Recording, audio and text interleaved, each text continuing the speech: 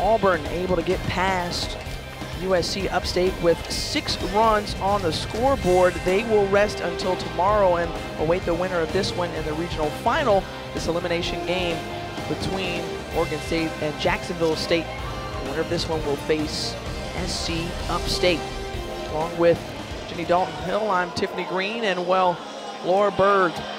She needs a lot of enthusiasm from that lineup to produce runs. McKenna Ariola leads things off, and she can be a difference maker. She can, and so far for Oregon State, they've struggled to put a consistent lineup together with defense, pitching, and offense all coming through at the same time.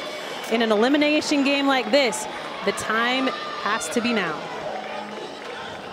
They dropped the opening round game to USC Upstate 5 to 2. Had 10 hits in that ball game. They've got to come up with key. Two of them coming off the bat of Ariola, and she looks at ball one to start things off out of West Hills, California. The sophomore shortstop, first team all Pac-12 selection.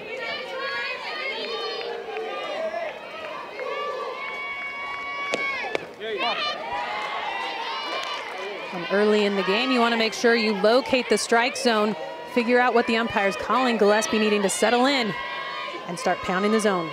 She is the reigning Ohio, Ohio Valley Conference Pitcher of the Year, the sophomore out of Pelham, Alabama. And she'll come in throwing in the low 60s. She lives and dies by her drop and curve. So it's that changeup that has to stay on to keep headers off balance.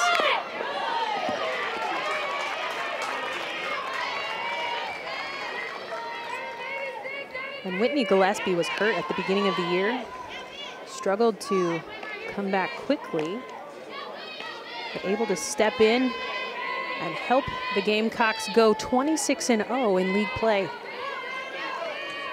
She recovered from shoulder surgery and that throwing shoulder looking mighty good as she strikes out the first batter.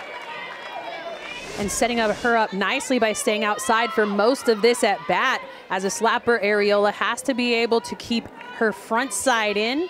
This ball off the plate and gets the swing for Ariola. So Gillespie, who had seven strikeouts in yesterday's game, this Jacksonville State team really hung in there with the number four overall seed Auburn Tigers.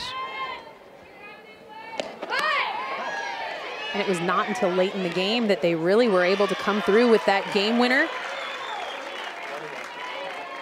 Shelby Weeks called for the offering. It will even up the count. 101. Weeks, a freshman in the lineup. Swings through that one. All Pac-12 freshman of the year. Several honors coming to the Beavers this season. 30 and 19 and one, the record on the year. Gillespie stays down in the zone for most of her pitches.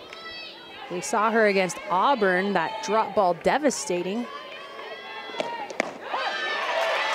And back-to-back -back strikeouts. This one, Weeks is looking. And it's again a drop outside that will come in and nip the plate and freeze up Weeks with no swing of the bat, a strike three called and two outs now for Gillespie.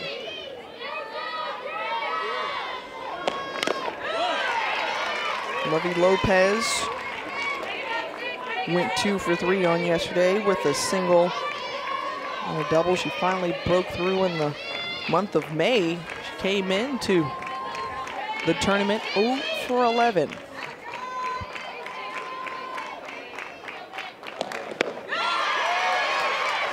And I talked with Scott Woodard, one of the coaches for Auburn yesterday, asked if he would have liked to see the Tigers move up in the box to try to get the ball before the break, and he said, no, our hitters just need to stay off that pitch. Well, Gillespie's drop ball has been falling off the table. This one in play. Bullock handles it and stretching out is Chambers, but Lovey Lopez is at first base. The error on the second baseman. It is not often that you see a left-handed second baseman. Jordan Bullock, a little bobble on the play, will allow the speed of Lovey Lopez down the line. And you being a former second baseman at the University of Arizona, and when we were talking with Coach McGinnis, she's, we had to really rack our brains. She said, no, I can only think of maybe one other left-handed second baseman. And I can think of none, so props to her for being able to come up. You rarely see a left-hander play the infield other than first base, so Jordan Bullock showing that she can be effective, switching her feet, and playing defense smoothly, but right now a little hiccup in the first inning. Natalie Hampton down the count 0-2. She strikes out, so Gillespie rolling here. Actually, we're staying here because all runners are safe, says one umpire. Another one is calling the Beavers out. So a quick conference between the fellas in blue. And the inning is done. And so, so, with the throw to first base, a tag of first, it will go ahead and go down as a strikeout. And a drop third strike, even though there's a runner on one. So Gillespie took care of business, struck out three of the first four batters she faced.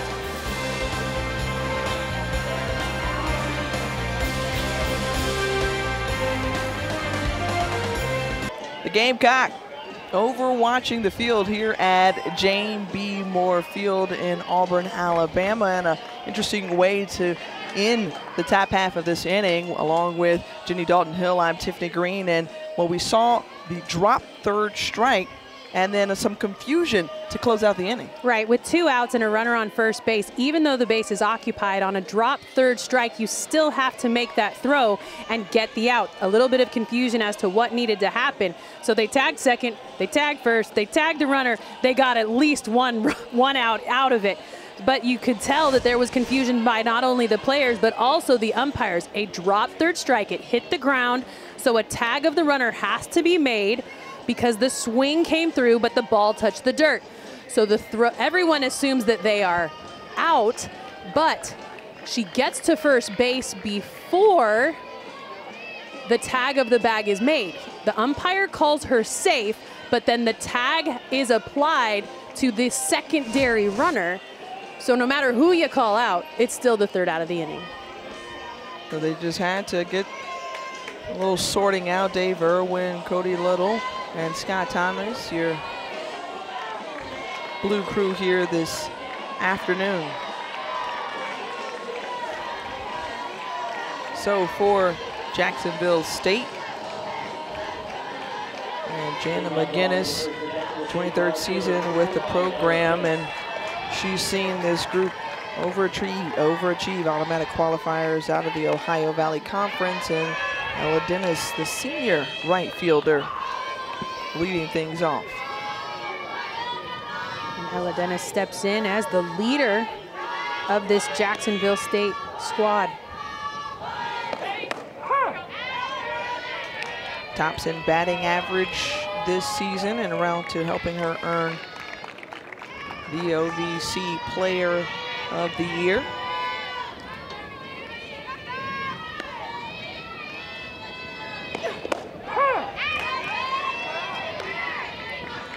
Bev Miller pounding the zone.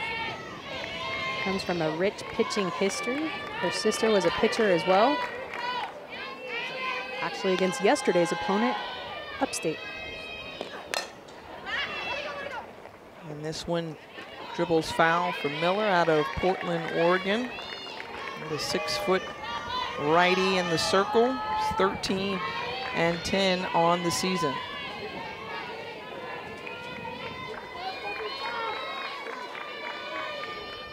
She faced two batters on yesterday against Upstate. And you'll typically see Bev Miller keep the ball down in the zone. She throws in the low 60s. She'll go from side to side with that drop ball. But that changeup is what keeps hitters honest. So she'll throw a drop in the zone that Coach Berg refers to. And just off of Miller's glove, it trickles in to the outfield and a base hit to lead it off for Ella Dennis. And as this ball is a little bit elevated, that drop ball too high in the zone comes through belt high. Dennis able to go ahead and keep her barrel inside this ball, and the deflection off of Miller's glove allows the ball to get to the outfield past Ariola at short.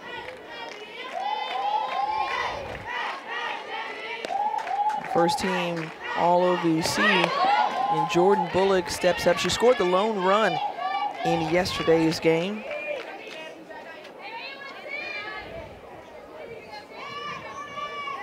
Jacksonville State, one of five teams from the state of Alabama in the NCAA tourney. Alabama State and Samford making their first appearance.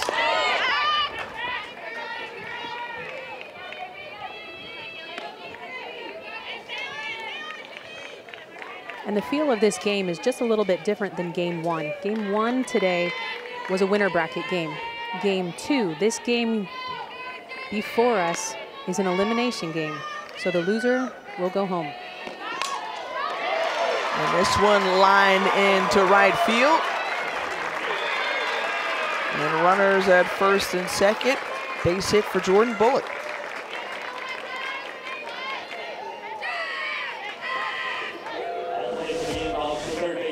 She gets her barrel out in front of this cur curve screwball on the outside part of the plate. It just gets in but it doesn't have to be far. The miscue in right field by Shelby Weeks, though, not picked up by the base runner of Dennis, so she will stay at second, and runners will be at first and second for Taylor Sloan.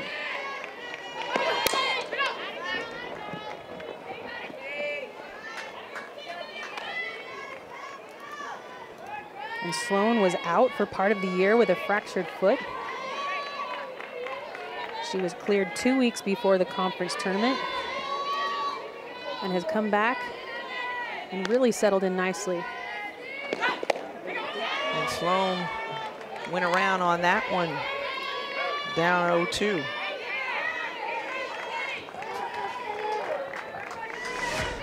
And on this pitch, too much force created in her backswing, and she'll break the plane of the plate and get called, and we'll be sitting at 0-2. Fouls that one away.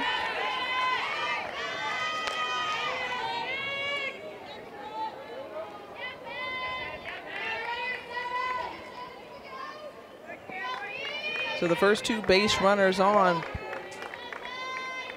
for the Gamecocks. They had just three hits on yesterday. They've got two already, and this one over to Miller. She records the 1-3 put out.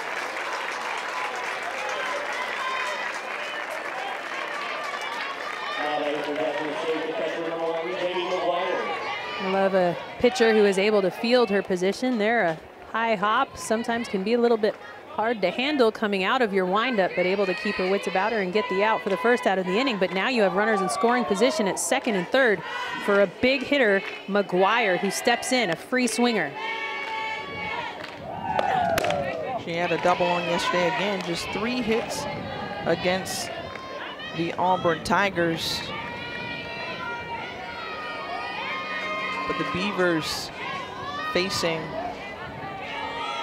red hot team out of the OVC. One of the reasons why they're so hot, they were perfect 26 and 0 in conference play. It's the second time that that's happened in the league.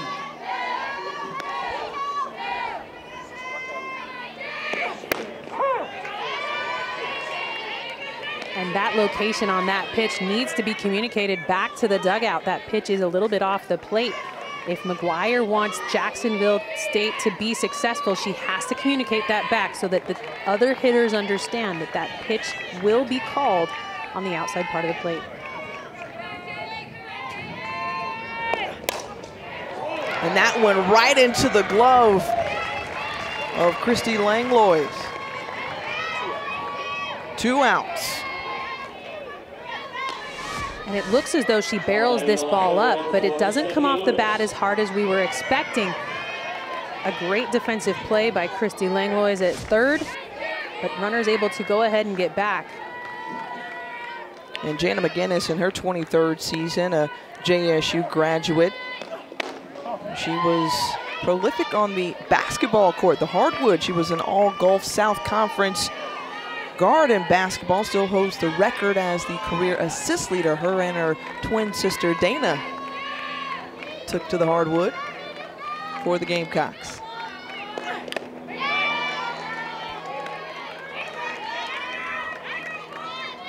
And Stephanie Lewis steps in. She can hit for power, but she's one of the Gamecocks' most consistent hitters. And right now, with runners in scoring position, a hit right now would be very timely. Thought about it. And, and did. strike. Unfortunately, allowing that barrel to get too much out ahead of her. It'll go down as a strike. And Bev Miller has the advantage.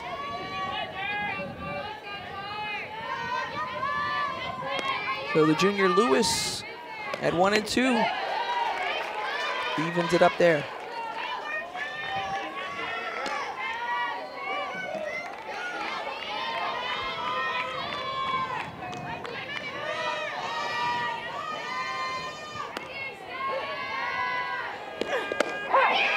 Strike three.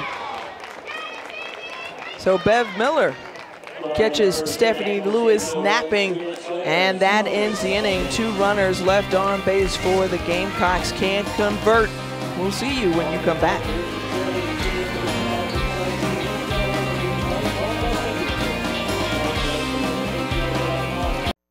I think the best part about making the NCAA tournament is just having the validation of like why we worked so hard all season long. A lifelong dream for all of us girls. It's something we've always dreamed of since we were eight years old. Being able to spend three more weeks with my teammates because I'm a senior, so it's good to be able to just extend it out a little bit. I'd have to say that it's every athlete's dream to be here, and it's an honor to be a part of the small percentage of women that get here. We started with the field of 64 in the NCAA tournament, but this is a big day for many because it could be the last game of the season for several teams around the country and Oregon State and Jacksonville State looking to extend their postseason with a win here this afternoon. And Jenny, you've been in these situations before where you're trying to make it to the Women's College World Series. You're just trying to get out of your regional as well. What are the emotions like going into a game like this? You know, this may be one of the toughest days during a season with 16 regionals going on. 16 teams are playing their last games today. Madison Anthony standing in. And the junior hitting 262 on the season.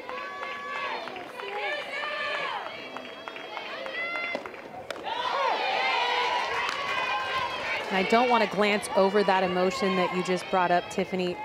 It's really, it's hard because the second game of the day is the loser bracket game. And the 5-3 put out and Sloan retires Anthony. But that emotion of game two on day two the reason it's so emotional is because these teams play with their back against the wall. It's a winner go home situation for both of these teams. So to be able to come in and play loose is sometimes eluded because you know, unless you put up some runs on the board, this will be the last time you'll be with your team. And for these seniors, forever. Swinging through that one is Christy Langlois redshirt junior out of Oak Park, California. Very aggressive swinger when she stands at the dish.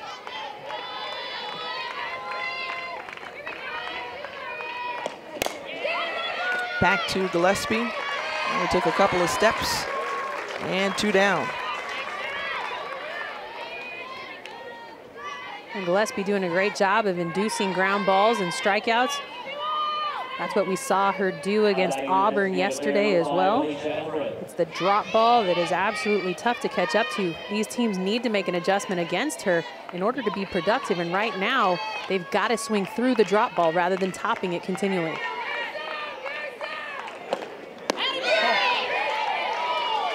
Alicia Everett takes a look at ball one. Despite going 0 for 4 yesterday, she's a, a player in this lineup that's really been heating up for the Beavers. Stands in the seven hole.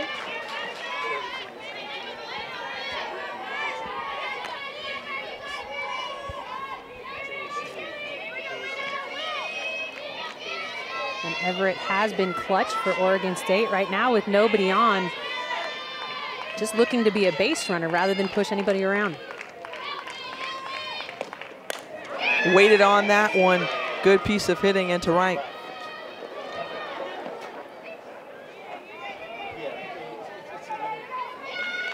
So a two out base hit from Everett. That brings up Kayleen Schaefer. And Everett does a good job of staying inside this ball and driving it in the 3-4 hole out to right field, but a miscue by Ella Dennis overthrows first base, but is not picked up in time by Everett, and she'll have to stay at first base.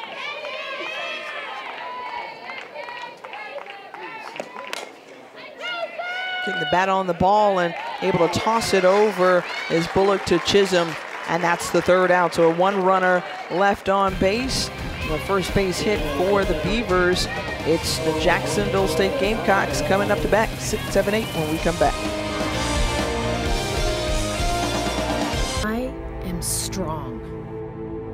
Intense, passionate. Don't question my heart. Don't doubt my determination. I'm here to win. This is my dream. This is my moment. This is my love. The hope, the goal all season long to make it to Oklahoma City and the Women's College World Series starting on June 2nd. You can catch it right here on the ESPN family of networks, but you got a long way to go to make it first as a regional champion, then super regionals before you even think about touching that World Women's College World Series. And that is the dream of every team making it to the postseason. Right now, that dream a little bit further away for both of these two teams in the losers bracket of the Auburn Regional. Loser goes home, winner will advance. Whitney Gillespie starting things off. We see her in the circle, but also at the plate as well. Hitting 242. She's the OVC Pitcher of the Year, as we mentioned. And that one bounces over the head of the third baseman. Leadoff single for Gillespie.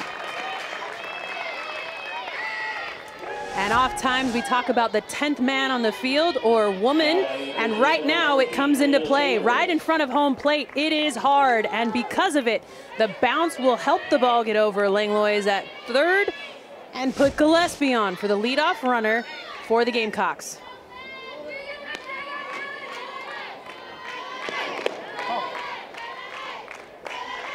Leela Chambers, a sophomore out of Molina, Georgia, was critical in helping the Gamecocks win their fifth tournament title in the OVC. She went two for four, including two home runs during that week.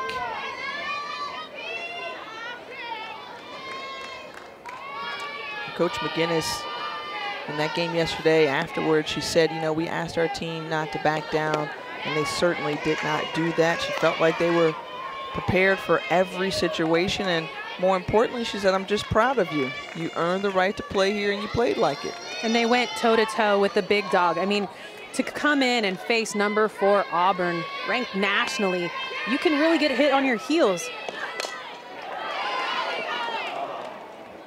And Schaefer watches that one roll foul.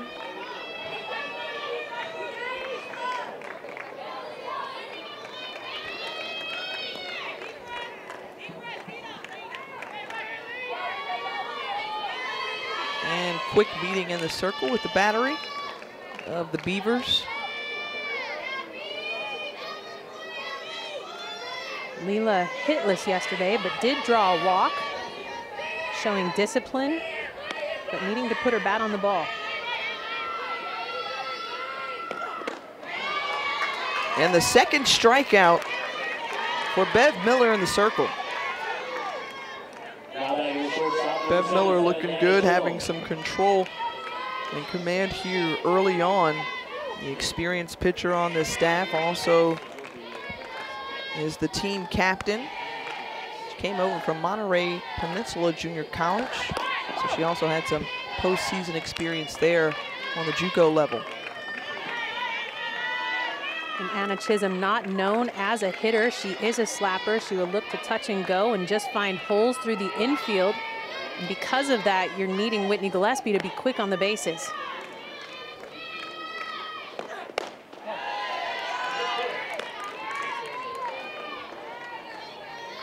Bev Miller gonna throw up in the zone, but when talked when talking to Laura Berg, she said any ball that's up in the zone is still gonna have drop spin. So even though you see it up, don't expect rise ball spin.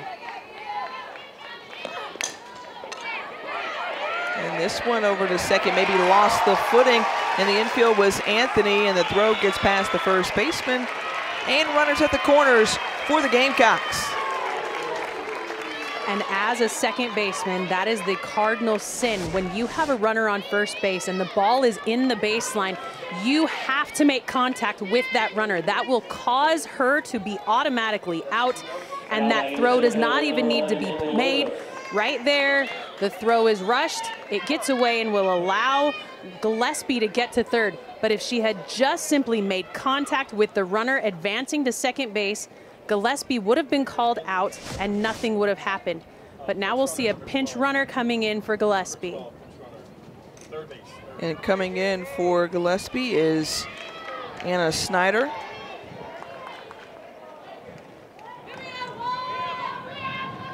So the leadoff single from Gillespie.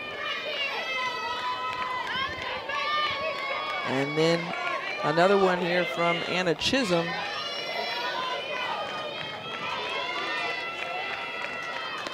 First run 60 feet away with Emily Woodruff swinging.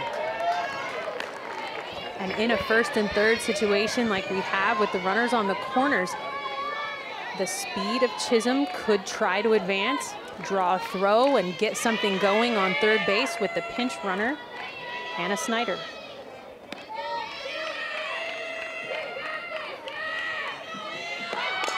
And Woodruff lays down a beautiful bunt, but she is called out. I think that one may have hit her. And because contact was made with the ball outside of the box, it was a squeeze play. The bunt is put down. However, as she exited the box, the bat did make con or the ball did make contact with her again. Because of that, the run the batter is automatically out. You'll see it comes up and hits off the bat a second time. And so the batter will be out. The base runners will then hold their places. So we'll still see Anna Snyder on third, Anna Chisholm on first, but now two outs are recorded. A good thought there, just not able to execute. But the top of the order up with Ella Dennis, who singled her first time up. And I love that aggression out of Coach McGinnis, looking for the squeeze, but an untimely bounce will call Chisholm out and leave the runners on the corners.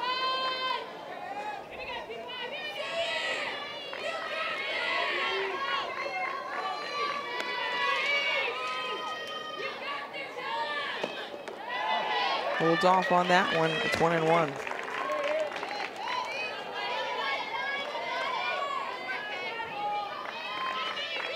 And in this regional, Jacksonville State has struggled to produce a timely hit with runners in scoring position.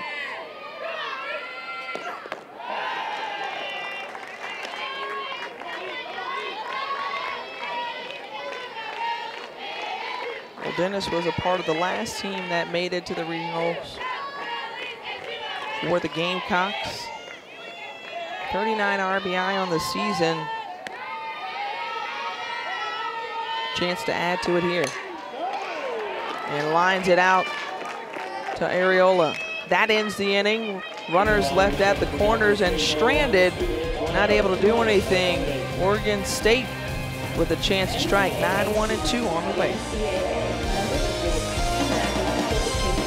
ESPNW.com for more exclusive content on the NCAA championships, including, well, the top 10 moments thus far in the regionals from Saturday. How about Kasey Cooper, ESPNW Player of the Year? She's a stud for the Auburn Tigers. She is, and we're still waiting for that big hit to Yeah. come off of her bat. Carosone has been the one to answer the call for Auburn, but right now, Cooper, the Lady of the Year for ESPNW. And the SEC Player of the Year as well, and a National Player of the Year finalist. Down to the top 10. just keep racking them up, right? And I love that when we talked to Carosone about it in her interview after the last game, she's I asked, you know, you're not you're not up for the award this year. You were last year. What's that like? She says, I'm so happy for her. And that's what a good teammate does. You back your teammates up regardless of where you're at.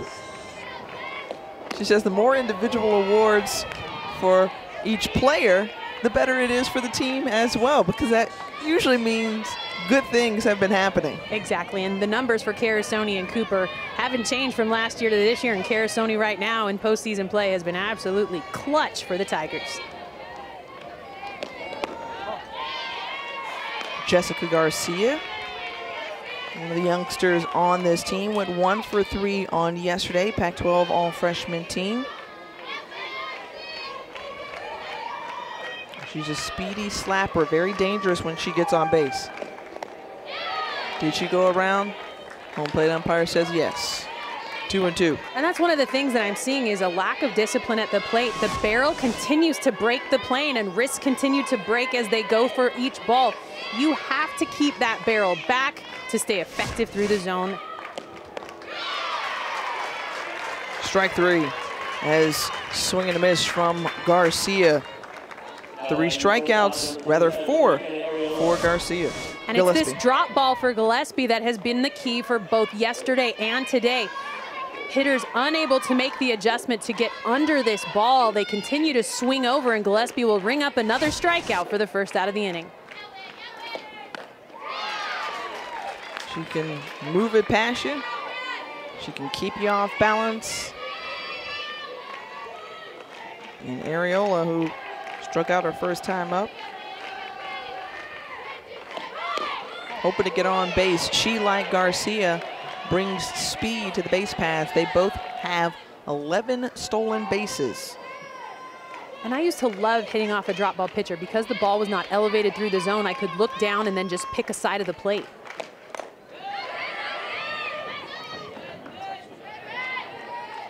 But I'm seeing a lack of discipline to stay off of the pitches that they don't want to hit. Right now, as a hitter, you have to pick a side of the plate early in the count, knowing that the ball will be down, look in or look out, but you cannot just go up there and free swing and expect to be effective. And two strikeouts in this inning for Gillespie and two away for the Beavers. In Ari- Ariola's first at bat, she struck out on a drop out. This at bat, changing sides of the plate, Gillespie gets her on a drop in, and Ariola will swing through and a miss.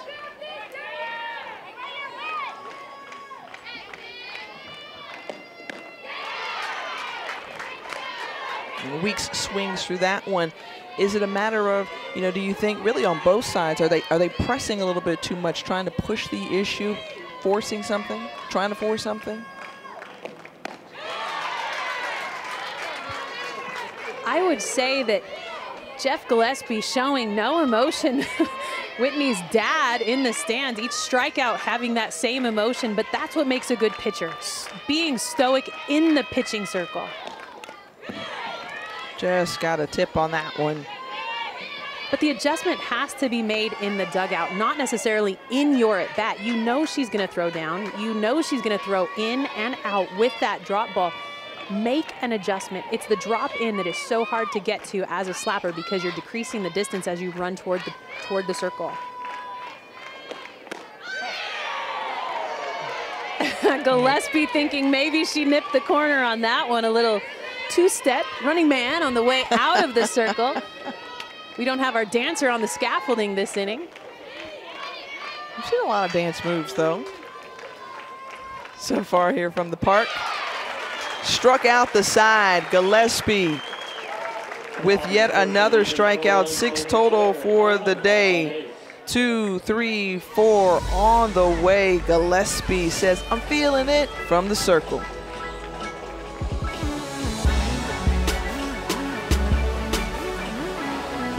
Here at J.B. Moore Field in Auburn, Alabama. This losers bracket game between Oregon State and Jacksonville State, and with postseason life on at stake right now, we're seeing just kind of uh, a real chill vibe from both dugouts. Right, a laissez-faire attitude. Ladies, your season is on the line, and you've got to be able to pick up the energy on the field, in the dugouts. Do something to infuse yourself with a little bit of urgency. Right now, really struggling to bring out the energy of the crowd, the energy in the dugout. Guys, backs against the wall. Let's go. Come on out. Right now, we're feeling a little bit like the chicken head, the Gamecocks, yeah. on top of the dugout. No props allowed in the dugout in postseason play. But right now, needing something to infuse some energy into both of these dugouts. When I see the Gamecock mascot, the head looking over. It's like, I always feel like someone's watching me. Here we go. So you can't okay. have props, but nobody says you can't have cups, right? right? So let's go ahead and make props out of what we're given. Gamecocks waking up. Jordan Bullock starting off her at bat here in the bottom of the third with a 3-0 count. Is this the inning the Gamecocks wake up?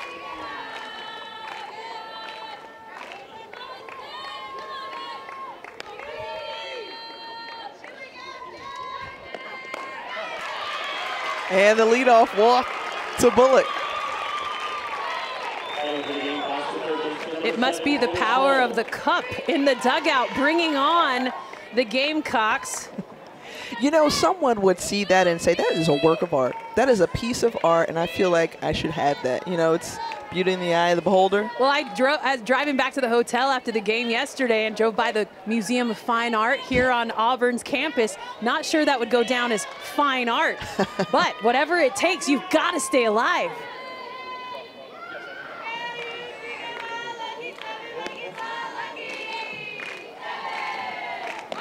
It was Taylor Sloan who grounded out to the pitcher back in the first.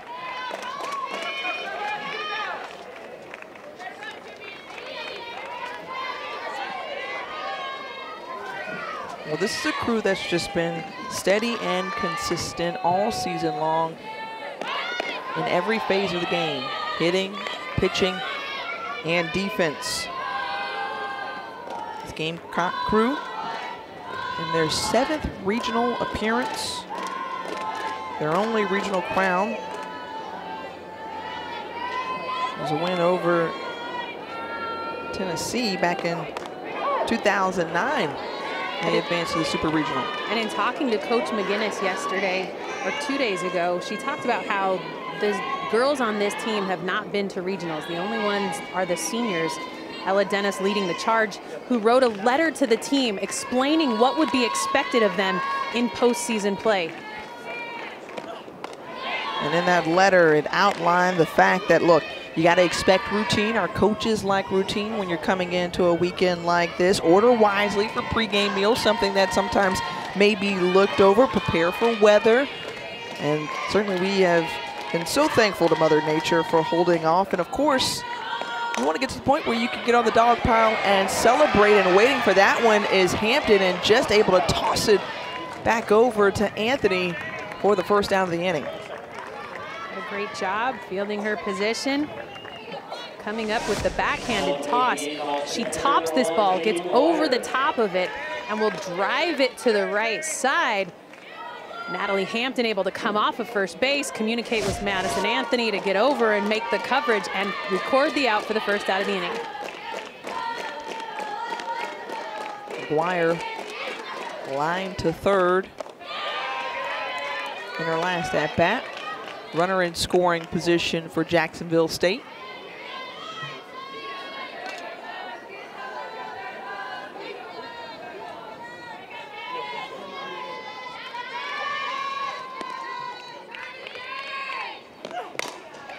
Just off of Bev Miller's glove, and Anthony not able to handle it.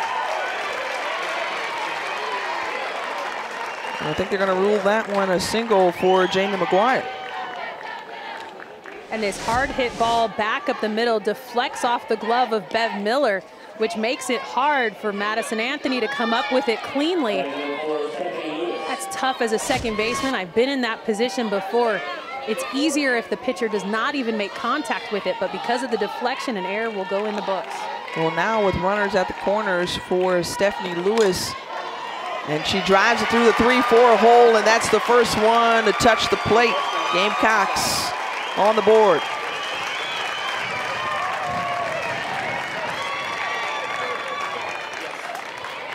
And that ball in the 3-4 hole should have been a ball that Natalie Hampton, a tall frame with long levers, should have been able to come off the bag and grab. She went T-Rex on us though and pulled back a ball that was too far away for Madison Anthony to get to. However, in that situation, she needs to dive and get dirty and prevent the run from coming around. And the Gamecocks will push their first run around. And so they started the regional 0 for 9, but since that time they're 2 for 2 with runners in scoring position. And Langlois tagging third, getting the lead runner off the shot from Gillespie. And we've seen that play several times. Two in the first game. This is the first one here, but this ground ball to third base should have resulted in a third to first double play. She had her at first, but held up on the throw. So only two outs now.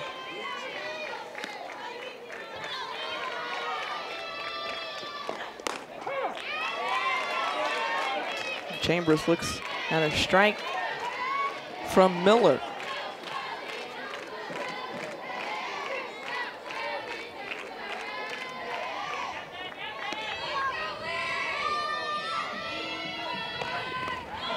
Keeping that one in front of her is Kayleen Schaefer. Good job by the catcher.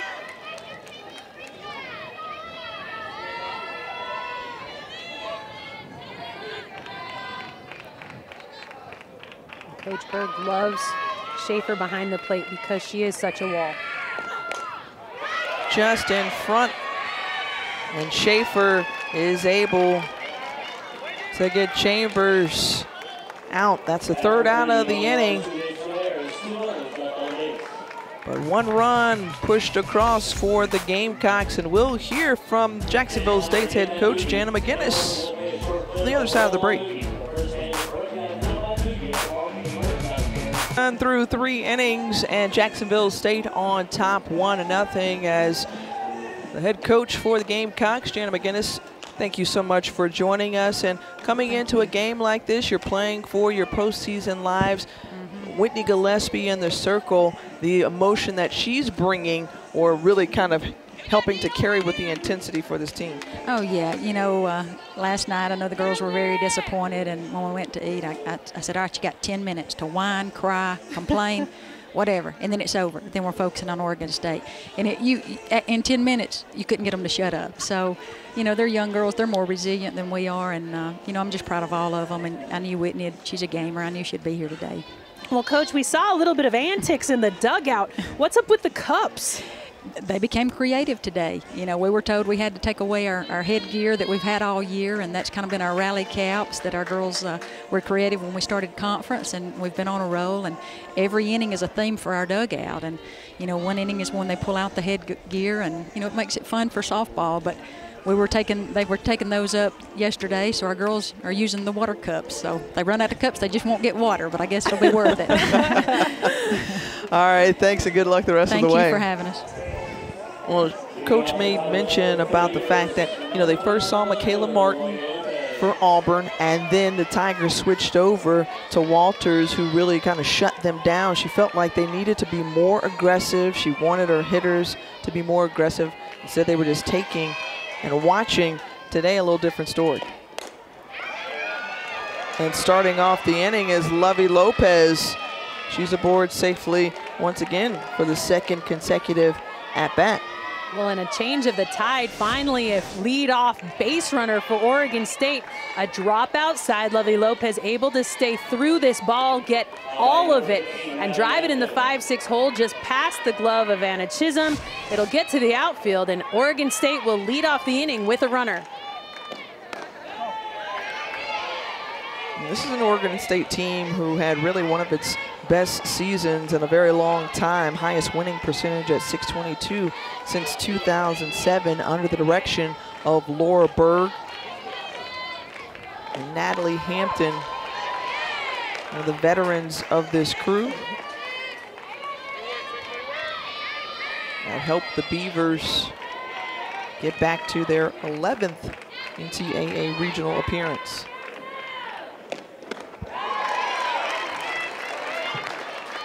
And I like that hard swing out of Hampton. The issue I'm having with it is her load is not taking her back and leading her through the zone. Her front shoulder's pulling her off, and so she's pulling off these pitches. She has to stay through and get back up the middle. And now 14 strikeouts and 10 innings pitched for Whitney Gillespie. She is having herself a regional tournament. And it's that right side that continues to fly wide that does not allow her to stay through the zone. This drop in is deadly when her weight is out on her front foot.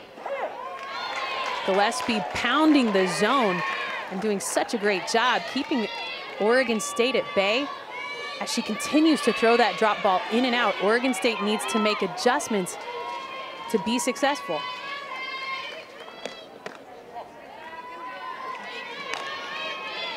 We've gotten just two hits off of Gillespie here today.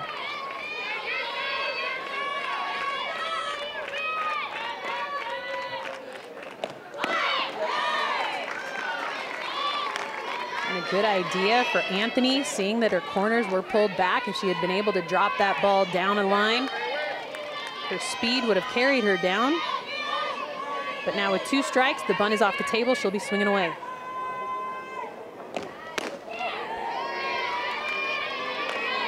And if you're Anthony, you want to take advantage of the fact that this is your first lead-off batter to reach first base.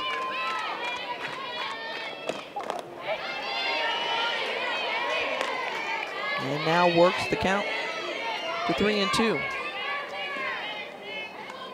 Jamie McGuire doing such a great job picking the balls out of the dirt, knowing that she's a drop ball pitcher. She's got to make sure she stays aggressive behind it right back to Gillespie. Nice glove in the circle and the high throw from Chisholm. It bounces off the net.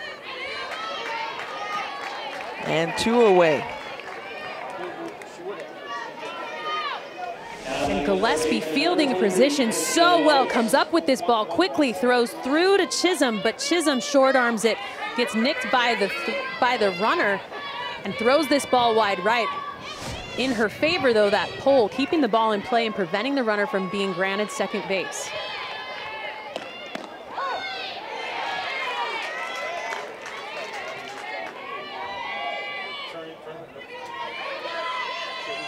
So Langlois grounded back to Gillespie in the, the first at bat. And for this Oregon State team, you know, they had to travel a really long way, second longest distance in the NCAA tournament, only ahead of them, the Fordham Rams. more than 2,100 miles from Corvallis, Oregon.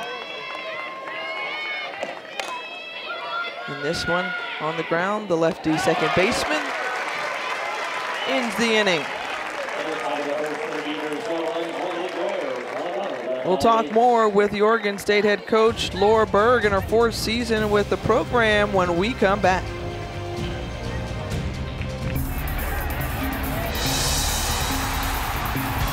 My favorite World Series moment is 1998. We're playing against Arizona. Uh, Amanda Scott's on the mound. She's throwing the game of her life. Um, the inning before, Nina Lindenberg had hit a ball out, so we're up 1 0, and we have to hold Arizona to three outs. Ground ball. This will do it. The Bulldogs are national champions. We're the underdogs. We're not expected to be there, and we come out and we win 1 Won uh, Fresno State's national championship back in 1998. And Coach Berg, you've had the experience of going to the Women's College World Series. How badly do you think your Oregon State Beavers team wants it and for you to have them experience what you experienced? You know, I want these guys to experience it so badly I can taste it. Um, these guys, I don't know, they're not playing with a whole lot of grit and a whole lot of passion right now, and so I'm going to have to light a firecracker under their butt. And I would ask, how are you going to do that? It seems like it's in the box that they're just not able to make the adjustment. They're not. They're not being tough outs at all. They're not swinging at good pitches. They're letting the, the mistakes go by, and we've got to capitalize on the mistakes. And hey, you might want to turn around and pick up your players. Absolutely. Right now. I'll get them later. You mess with the bull, you get the horn. Just created another diamond moment. hey, good luck, Coach. Thank you. Go Beavs.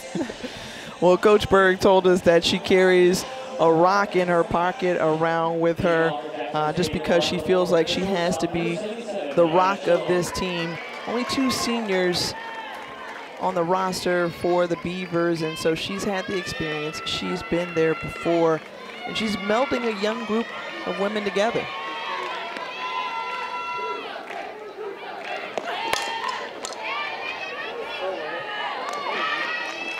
And the 4-3 put out of Chisholm to start the inning.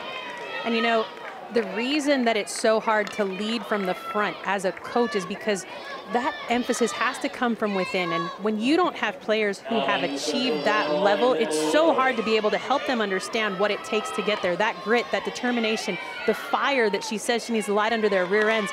That's what Laura Berg had when she was a player. She was one of those people that you hated to see come up in the box as a sitting at second base. I remember her as a slapper thinking, how the heck are we going to get her out this time?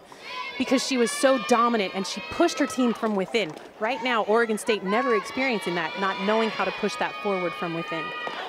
Heavily decorated is she, a four-time Olympian with the U.S. national team, three gold medals and a silver as well. I like to think of her as the triples queen. Her speed was so deadly. Dang, she was tough to get out. Would you challenge her to a race right now? Heavens no, I wouldn't challenge her to a race back in the day. now, hitting, yeah. Put yeah. us toe-to-toe -to -toe in the box, yeah, I'd hit it out a whole lot more than she could. But that's why she's so deadly, because she could hit for power, drop a drag, or slap to a hole. She was impossible to get out.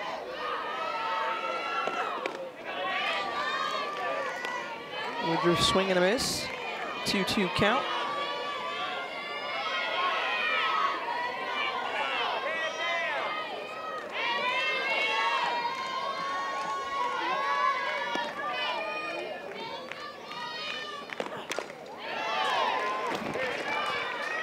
With two strikes, you like to see hitters that are able to get their barrel to the zone quickly, but right now it seems like both sides of this field, both Jacksonville State and Oregon State really struggling to load and stay long through the zone. They're getting to the zone quickly, but pulling out of the zone as quickly as well. And right, they've got to be able to extend the strike zone and take it right back up the middle to be more effective. Keeping that one from going any further in the dirt is Schaefer.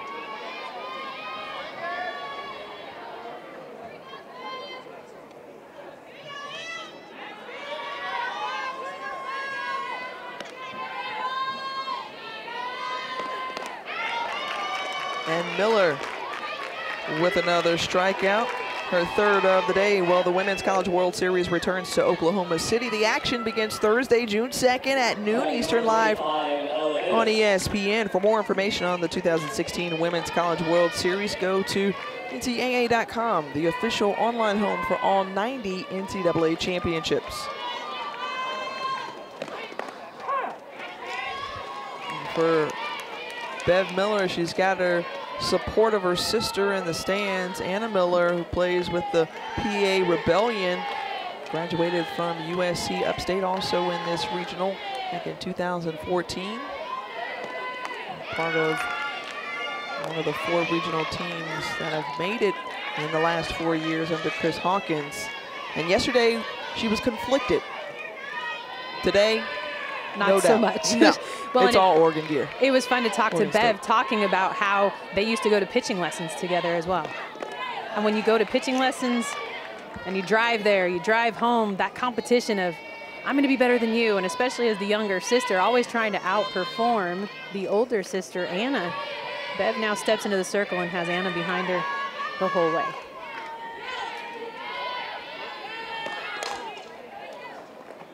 right over to Natalie Hampton. So three up, three down. Good inning for Bev Miller. So now some energy needing to be injected into this Oregon State team. How about some fun for Coach Berg?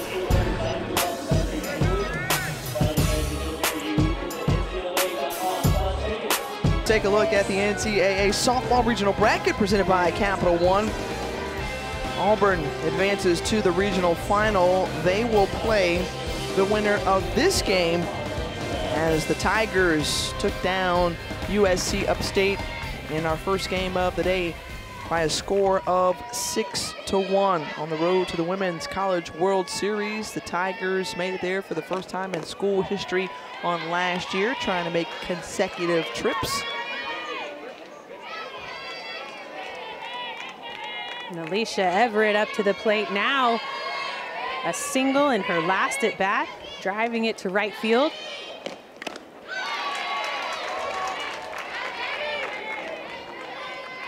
Just one of two hits given up by Gillespie today. And when leading off the inning, Everett has been mightily effective for the Beavers.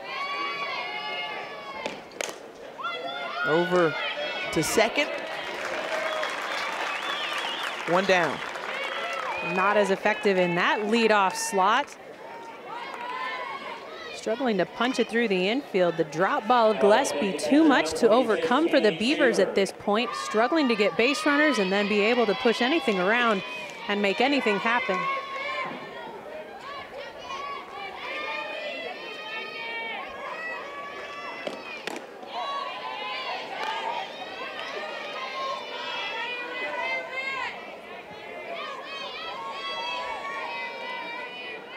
For the Beavers, they haven't really done a lot in getting it out of the infield. That stays in a 6-4 putout. And the throw of Anna Chisholm seeming to not have too much behind it today, but a great defensive play by getting herself in position. Short arms it though. A great pick by Leela Chambers to come up for the out. And now two outs in the inning, but to be able to have that range, she's got to be able to come up with a throw that comes through Chambers instead of just to her. And a first pitch strike from Gillespie. This is an Oregon State team that had some big top 25 RPI wins against opponents like Oklahoma, Washington, UCLA, Kentucky, and Arizona during the regular season and preseason. And a lot of that is due to the fact of the arm in the circle. Whitney Gillespie doing well against Oregon State, but Oregon State coming up with big wins throughout the season. Gillespie right now, 14 outs. Half of them has come as strikeouts and the other half as groundouts. Oregon State needing to get underneath that drop ball to be able to drive it to the grass. Instead, she's kept them off balance, just like that swing from Jessica Garcia all game long. Eight strikeouts for Whitney Gillespie. She's just got it rolling, rolling off the fingertips. Gillespie sits him down. Well, USC Upstate head coach Chris Hawkins and his right fielder Ryan Rector readying for the winner of this ball game. They will face them in the next one and trying to advance to the regional final. Whoever wins the last game of the evening will take on Auburn tomorrow in this double elimination tournament. Along with Jenny Dalton Hill, three-time national champion from the University of Arizona. I'm Tiffany Greene. Ohio, Oregon State, excuse me. The visitors in this one, Jacksonville State, able to jump on the board in the third inning. And that's the only run of the game. Well, and Tiffany, we saw that the run production for Jacksonville State happened after a little bit of emotion came out of the dugout for them. And right now, both of these teams seeming a little bit flat, knowing that this is a winner go home game. And you said earlier the fact that that's got to come from within. At this point of the season, knowing what's at stake and you've kind of prepared for this moment, the fact that no one needs to get you up for this, you got to do it yourself.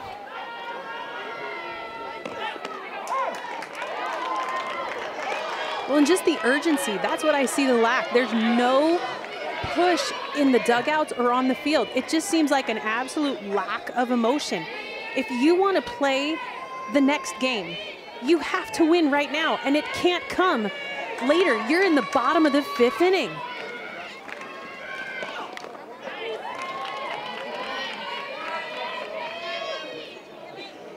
And as Bev Miller, as one of the three seniors on the team for Oregon State, she certainly is the team captain, so she can provide leadership from the circle. But it's also a matter of getting the bats going and at least being able to tie up this ball game. Well, it's been the drop ball of Whitney Gillespie that has absolutely changed the face of the Oregon State offense. They have to make an adjustment. Move up in the box, swing under the ball, whatever it is, you know it's going to be a drop ball. And Jacksonville State cannot just sit on one run. High chopper, good play from Ariola. And it's a base hit to lead off the inning from Jordan Bullock. A great job coming across the infield by Ariola. A high chop, oh, directly over Bev Miller's head. She comes up with it, sets her feet, makes the throw. It looked like she was out in real time.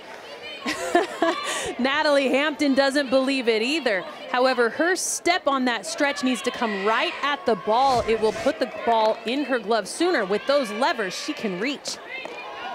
But because they do not come up with it, a base runner for Jacksonville State with no outs. Seven hits now for the Gamecocks.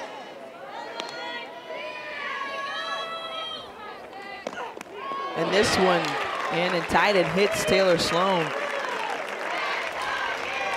Two runners aboard for Jamie McGuire, who stands in singled her last time up off of Miller.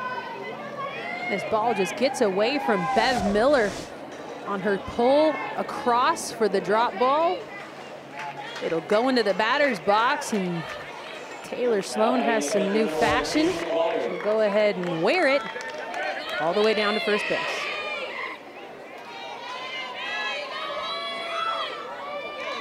Thirty-five runs batted in for McGuire. The Gamecocks average about five runs a game this season. And Jamie McGuire was run for by Haley Sims her last time out. But because of the reentry rule, Jamie McGuire able to come back in and do damage again at the plate.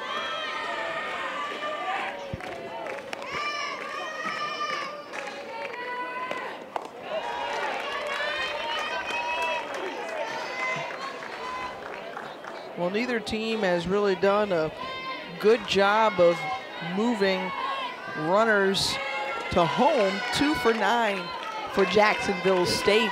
Oregon State even hasn't even had that opportunity here today. And this one hardly, or hard hit to shortstop. And the double play pulled off. Six, four, three for the Beavers. I thought perhaps that Ariola would take it herself, but a clean transition between Ariola to Anthony and a hard throw across over to Hampton will get out Jamie McGuire. So two outs now in the inning. Nice play there from the shortstop.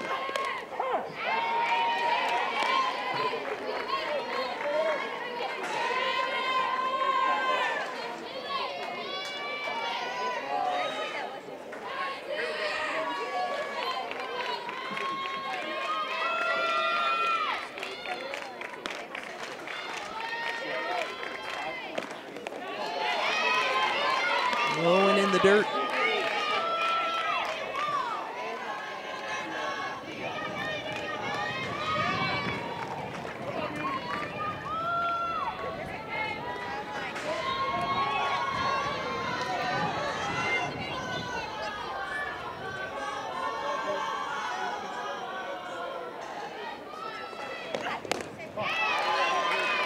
That outside. 2-1 to Stephanie Lewis. Bev Miller very stoic in the circle, not showing a whole lot of emotion, but then again, neither are many of the Oregon State Beavers right now needing to infuse some energy, come up with an out, and save the run from scoring. Lewis had the RBI single back in the third to put up the one run on the scoreboard in favor of the Gamecocks.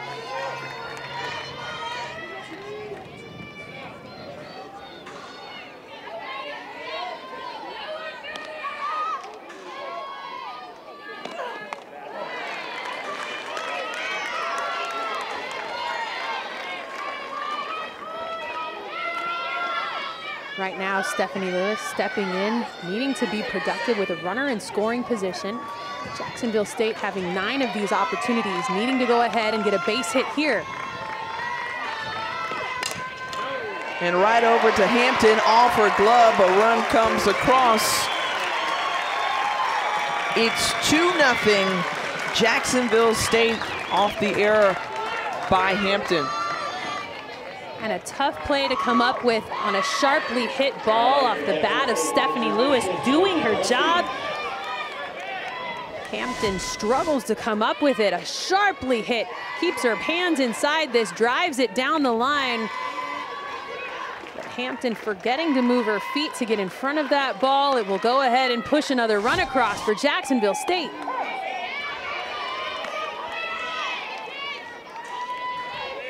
Well, a little extra cushion for Whitney Gillespie. Who's doing a fantastic job in the circle for her team. I always love a pitcher that can hit for herself. She is the one with the most information other than the catcher about where the strike zone resides. So Gillespie knowing what's getting called, she should be very effective knowing the strike zone in this at bat.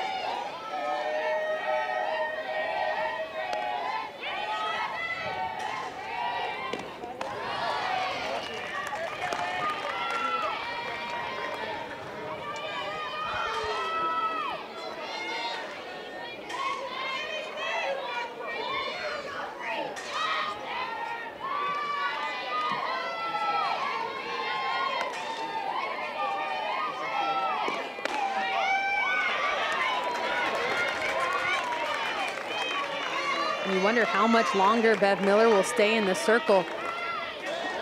She's thrown 88 pitches just now in the fifth inning, but location or command seems to not be a spot on. And ranging over to the left side, and that's the third out. Anthony to Hampton. One runner left on base, one hit given up. One run came across along with one error. Jacksonville State clinching to a 2-0 lead. Regional bracket presented by Capital One. The winner of this one would advance to play in our next game. And then, of course, everyone is waiting to take on the Auburn Tigers. They are done for the afternoon with their win over USC Upstate. They will be in action tomorrow here at Jane B. Moore Field, the number four national seed and several SEC teams winning in their opening round games and advancing on to the regional final, including Florida, Michigan, Oklahoma, Alabama, some of the top seeds in the tournament.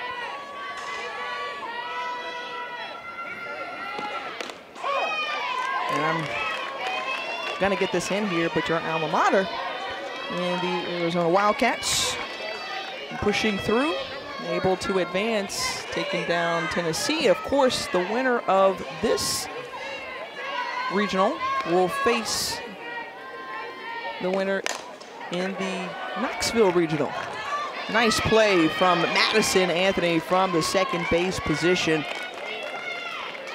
One away. And that's the defense that it will take to go ahead and advance. But right now, Oregon State struggling with the bats to get anything going on Whitney Gillespie. Bev Miller inducing a ground ball there. Madison Anthony coming up with the easy play, 4-3 for the first out of the inning. I feel like that was an excellent call. Thank you. From you, Jenny. Anytime you want to take over here, come on. I'm sitting right here, I got you. Bev Miller in the circle. A little bit more control this inning. We saw her a little wild last time. Anna Chisholm will step in. She's got two home runs on the year, but Tiffany, it's going to take more than a home run here to help. Now, granted, Jacksonville State is up. Chisholm is the shortstop for Jacksonville State, coming up with some key plays today, but right now needing to go ahead and get a base runner and push this envelope a little bit further. Well, Bev Miller has held her own in the circle, gave up, you know, seven hits so far in this one. Two runs have come across, but she needs to be backed up by the bats and her offense. They're used to producing five runs a game, and so far they've been shut out by Whitney Gillespie. And they'll call it as an out. Chisholm thinks it's off her foot, but the umpire crew does not believe so. Coach McGinnis down the line, gonna go ahead and come have a visit. But off the bat, Chisholm says it hits her in the foot. It does nick her foot, but unless the umpire crew saw it or deems that that's what happened, the lack of advancement down the line Hampton's throw to first base with Anthony covering will just yield a, an out. So that's how it will go down in the books.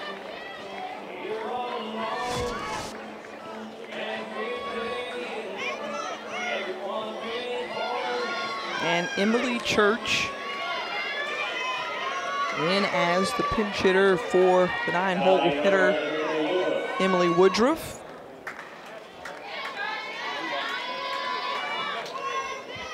Church, first team all conference selection in the OVC, also All-American from the junior college ranks. And yesterday, Church came in in a pinch hit situation as well. That at bat was a strikeout, so now coming in to try to redeem herself in this situation off Bev Miller. And interestingly enough, she leads the team in RBI with 41, so very productive first season with Jacksonville State, but she's coming in in a pinch hitting role in each of the last two games. Well, and here, without a runner on, an RBI would only be recorded off a home run. She does have 10 on the season. but a base hit is really her job in this at bat.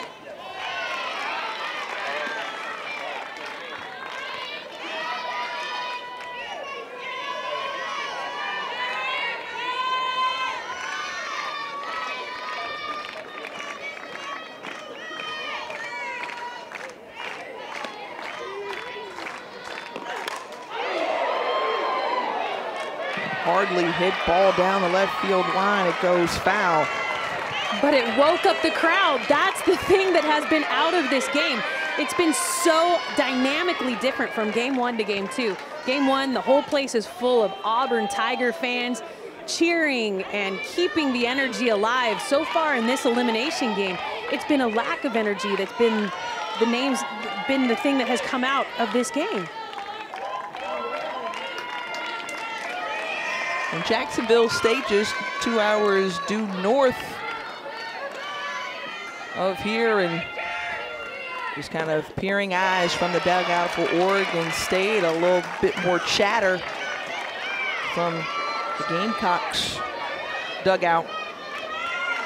And whether that's because Oregon State is in the sun and Jacksonville State is in the shade, maybe that does go into it. But right now, Oregon State looking to go home with just three more outs to play with offensively.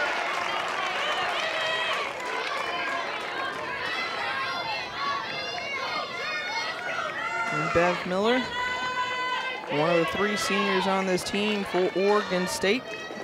Bioengineering major, had a good conversation with her a couple of days ago. And she's looking to, uh, to save the world, do all kinds of fancy stuff that I don't even know if I'm qualified to talk about. Fourth full count of the day. And Church draws the two out walk. So turning over the lineup for Ella Dennis.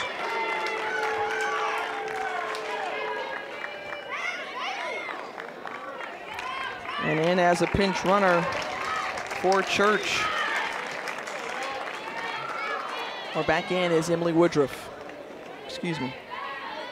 And so just a re-entry of Woodruff to take first base, a little bit more speed than Church on the bases. Woodruff will go ahead and assume her position at first base. And Ella Dennis will look to go ahead and give some senior leadership and show the rest of the squad how it's done.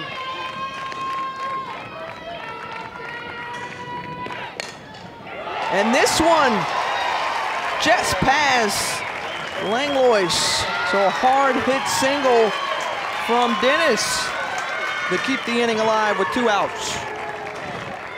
And because of the proximity of Jacksonville State to Auburn, a little bit more crowd support here than Oregon State. And this ball, as she hits the outside pitch, takes it right down the line, past the glove of Langlois. It will go ahead and cross over the base, calling a fair ball. But because it's down the left field line, Woodruff will be unable to advance to third.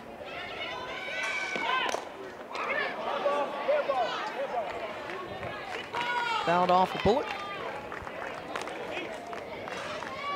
The last time Bullock was up, she had a single up the middle.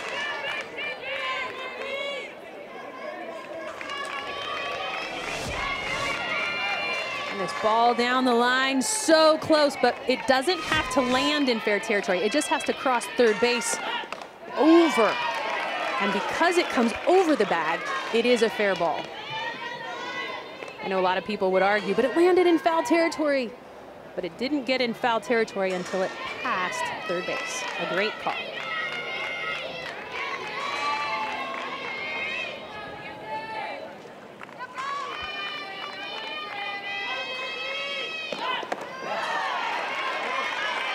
Jacksonville State 2 for 11 with runners in scoring position today.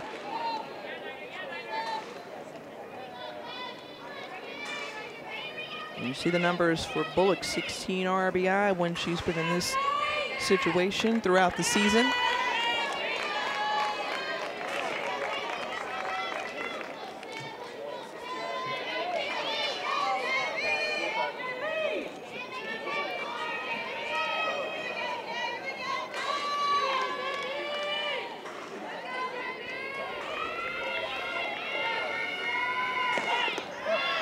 one in the dirt.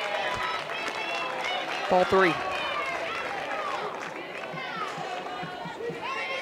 And Bev Miller not really showing any kind of urgency.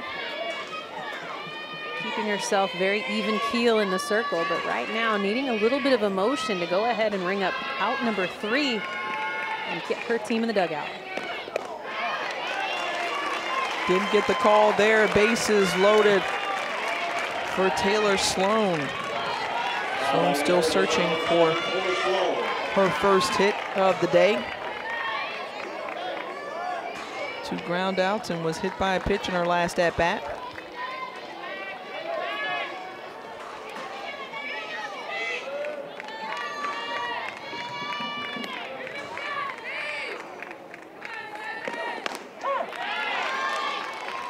And that's a better attack in a first pitch out of Bev Miller.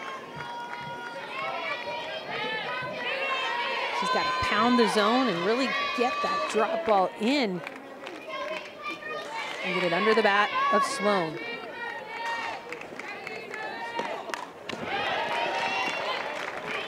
When I was asking Coach Berg about what kind of pitches she would be throwing in the circle, she said, you know, Bev Miller, she throws a drop ball and a drop ball and a drop ball. so anytime you see it elevated in the zone, that's going to be a drop ball. So she said it's kind of a ROP, a rise with drop spin. So anything that Bev Miller throws is going to be inducing a ground ball unless it's elevated.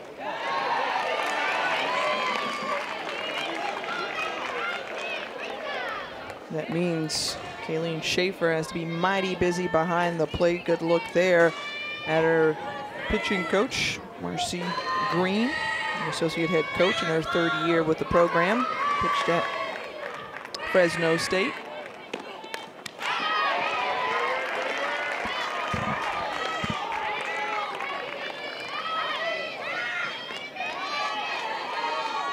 Anna Miller, her sister, looking on, trying to give her that extra support to go ahead and push her ahead. Two down. She's ahead in the count. Bev Miller toeing the pitching plate, ready to go ahead and fire. On the ground. And the easy out for the Beavers. So the final three outs coming up. Four, five, six due up for the Beavers. Oregon State traveled more than 2,000 miles to Auburn, Alabama, and their season is on the line if they don't at least produce two runs here. They've struggled against Whitney Gillespie, eight strikeouts, three runners left on base this afternoon. And Tiffany, they've had opportunities with runners on first base five different times. Right now, have not even been able to advance a runner to second base. Not, no opportunities with runners in scoring position, struggling to string hits together. Well, Laura Berg said yesterday after the loss that they didn't come up with the key hits like they needed. They left a small village on base, and she said, we're not going to win if you do that. And Natalie Hampton stepping in, a junior, having one more season to play. But so far in this game, 0 for 2 with two strikeouts, and she's really struggled to put anything together. She is a power hitter, nine home runs on the season, and the team leader in RBI.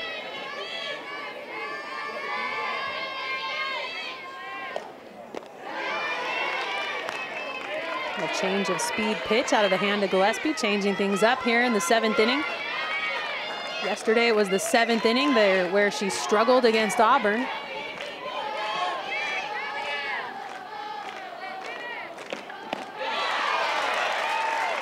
Swung through that one. Two strikes and two balls on Hampton.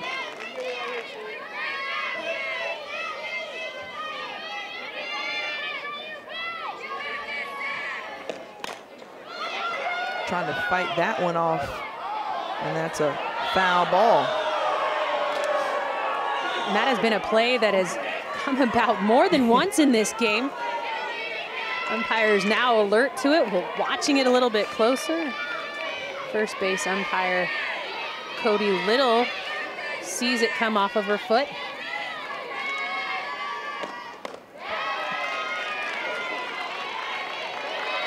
Gillespie done a good job with control. Yesterday had five walks against Auburn. Today, no free passes here to go along with eight strikeouts.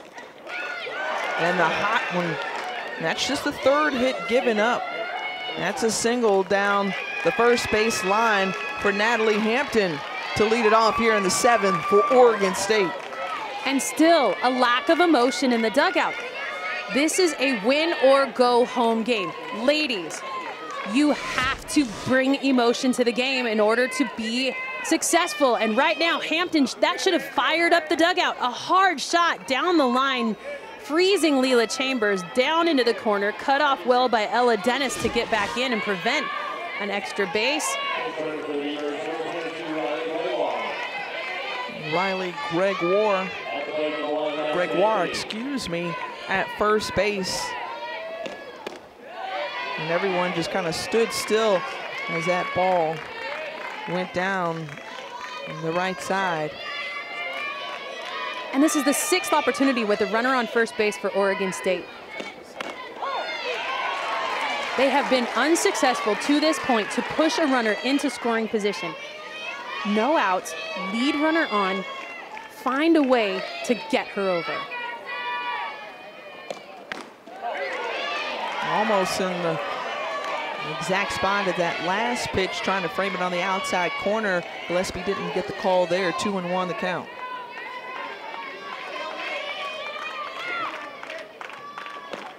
That one finally came back to Madison. Well, and perhaps the telling moment is that base hit down the line didn't yield uh, any kind of emotion off either side. You've got to be on your toes, expecting the ball every time it comes off the bat, no matter what position you play. And taking off is Gregoire, and she's in safely. So now a runner in scoring position for the Beavers.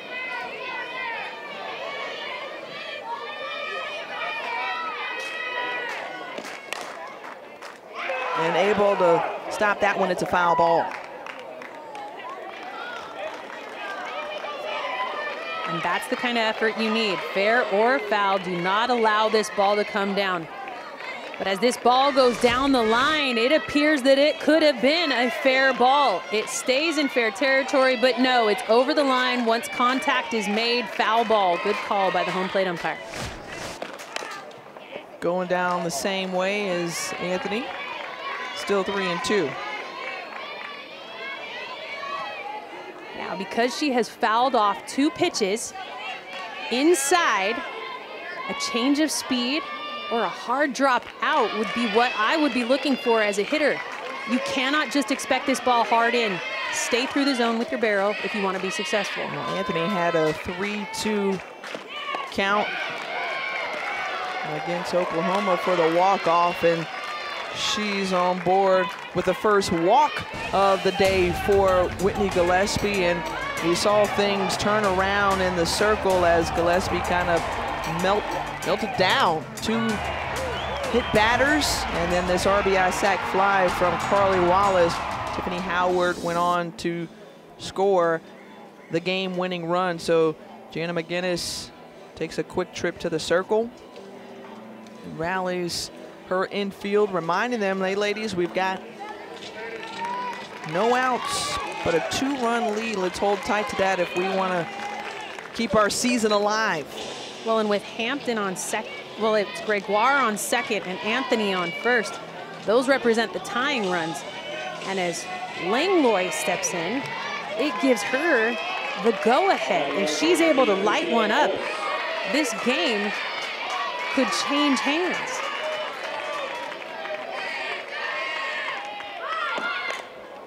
Instead, she sacrifices and the runners advance to second and third. And because there was no outs, that could be an option. A simple sacrifice, square early, see the ball down, then leave the box. Her job is to be out, and she does it successfully. Everett off the glove of Chambers, and two runs come across. Game tied.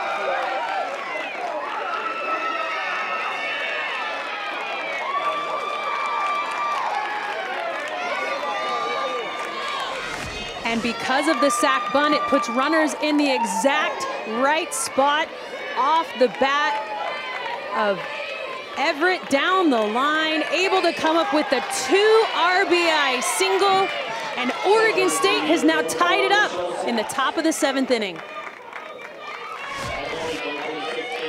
We saw this happen to Gillespie on yesterday, and Chambers, I don't know if she could have really done anything with that one, but that was a tough one to try to keep in the infield. Michelle Sass, the pinch runner at first base. And I'm going to have to argue with that on argue with that, Tiffany, because your job as an infielder is to block everything up and be a wall. Expect it, and we've seen her get surprised twice now this inning.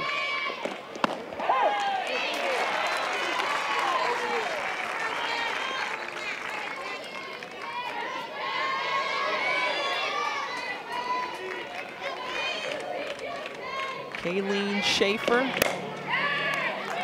And nice fielding from Gillespie and took the sure out at first base. Sass moves to second, but two down. A heads up play by Gillespie, recognizing that her middle infielders were not in position to make that play. Sass with the wheels will go ahead and get into second base. Great defensive play by Gillespie in the circle to get the out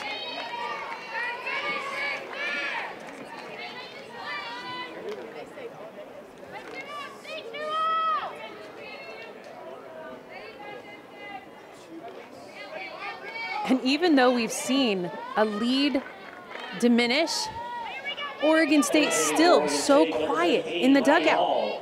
The crowd completely uninvolved.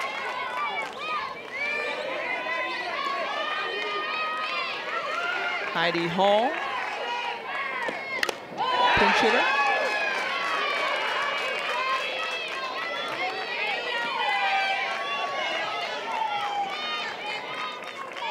Hall, a sophomore for the Beavers, 250 average on the year. No RBI, but a great opportunity for her first here to try to put the Beavers ahead.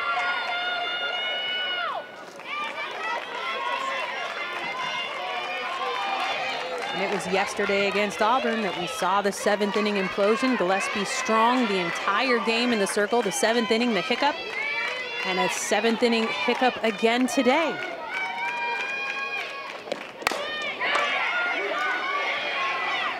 And the final out of the inning. But this ball game is tied up. Taking advantage of an opportunity and trying to seize the moment. Can Jacksonville State answer in the bottom half? Hunted Oregon State or Jacksonville State as we move to the bottom of the seventh, tied at two apiece. Bev Miller got some support to extend this ball game. Two runs coming in the top half to even it up at two apiece along with Jenny Dalton Hill, Tiffany Greene, and trying to push her through as her sister Anna Miller watching on. She's been in this position before with USC Upstate also in this tournament. The winner of this game will go on to play Anna Miller's alma mater and the Spartans.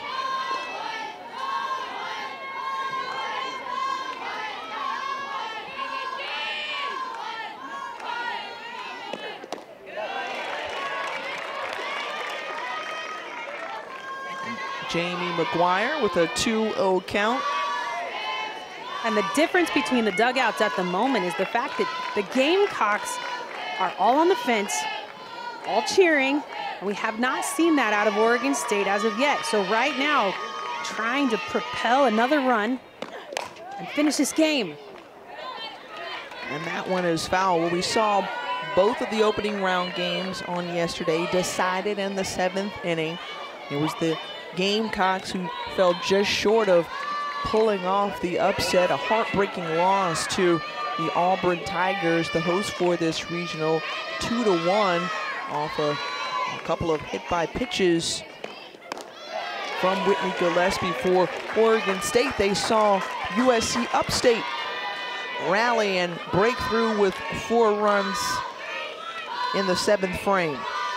Well, we may be the regional that you cannot turn away from because we don't let things happen until the seventh inning. Good sell. And that's called a strike. And not a good enough sell out of McGuire, thinking she grabbed the walk. Pushes it to a full count.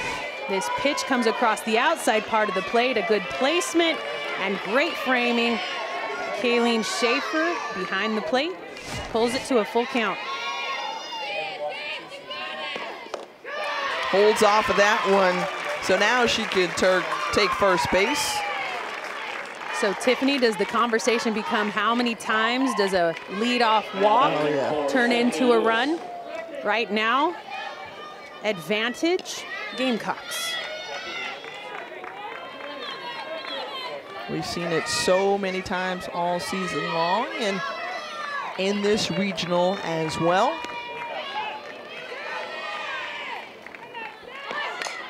And Stephanie Lewis laying down the perfect sacrifice and beats it out for the infield single. And all of a sudden, the Gamecocks have come alive. The crowd is on their feet. The girls are out of the dugout. Ladies and gentlemen, we have some emotion. And a beautiful drag bunt laid down. The hop plays to her advantage. Bev Miller comes to field it, but the speed of Lewis, too much to go down the line. She will beat it out. A great job by Lewis. And now everybody's gonna come together. And, and we'll see a pitching change in the circle. Mira Nelson, who started yesterday's game, the freshman, will take over for Bev Miller. Both of these teams not wanting to go home. Jacksonville State threatening to advance to the next game. Or will the Beavers hold them at bay? We'll come back and find out. Stay with us.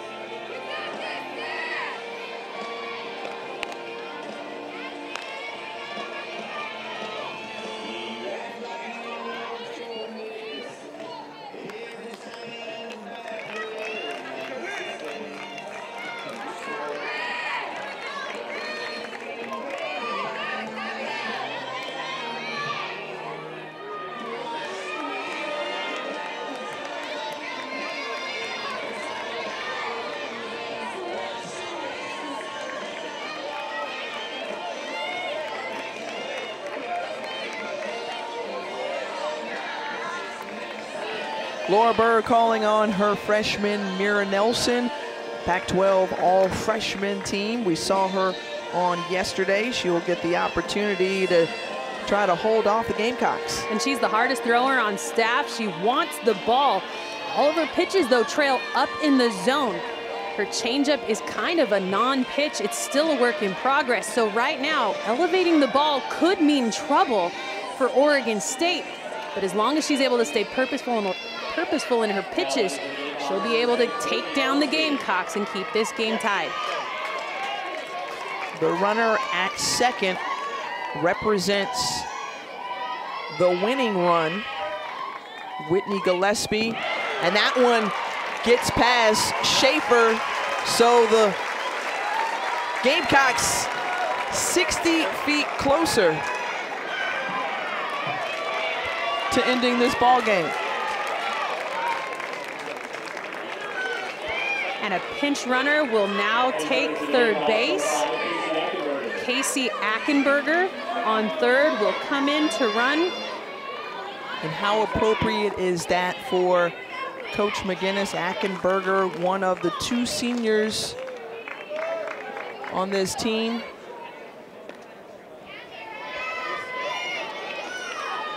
For the Gamecocks. And now the pitcher, Whitney Gillespie, will step in and try to win this game for herself. No outs.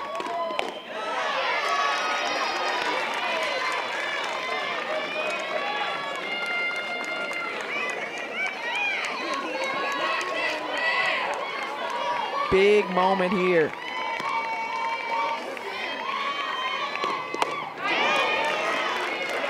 Swing and a miss. Fanned on that one. And that's the ball up in the zone that we'll need to see Mira Nelson keep up and away from the bat of the Gamecocks.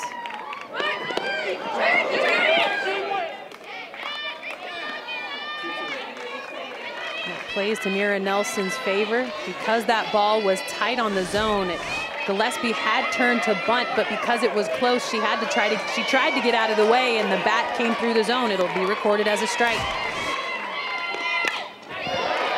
Fouls that one off. Still 2-2.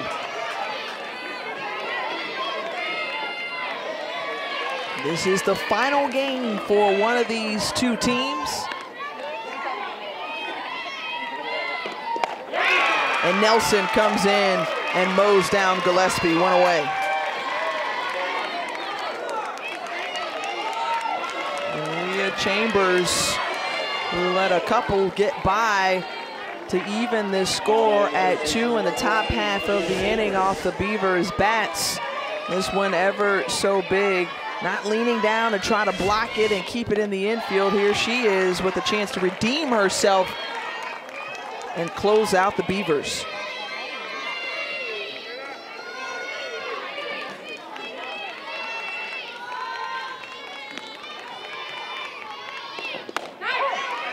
Good pitch there from Nelson. And Chambers caught fire in the OVC tournament, hitting 462. Two home runs in that tournament. A home run here would be a walk-off win.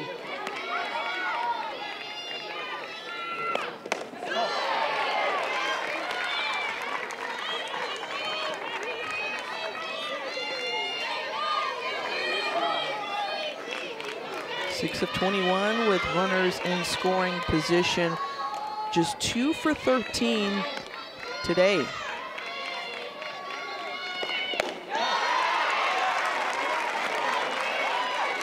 Waiting to see what Nelson throws her way, staying patient. Three and one the count.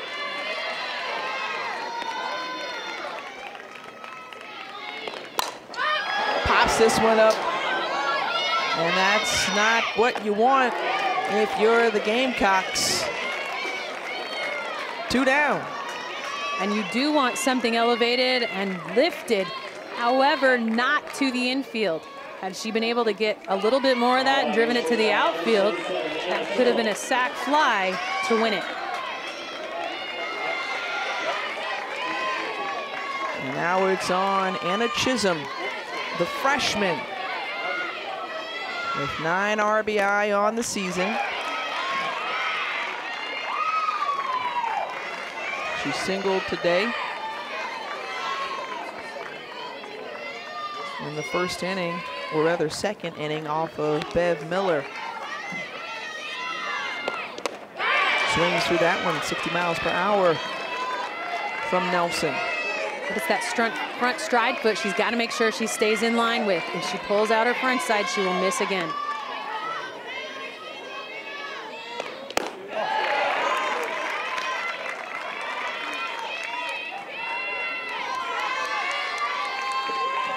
An anxious moment for both dugouts.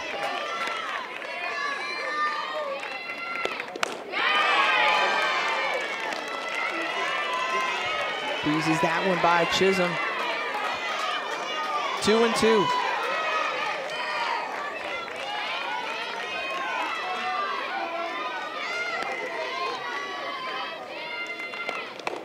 And that one right there caught Chisholm looking.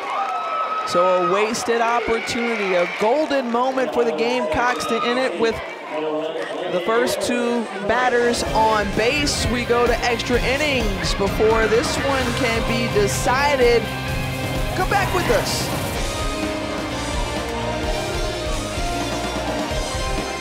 Back here in Auburn, Alabama, top of the eighth inning, and Jacksonville State sees their season hanging in the balance as Oregon State was able to tie it up.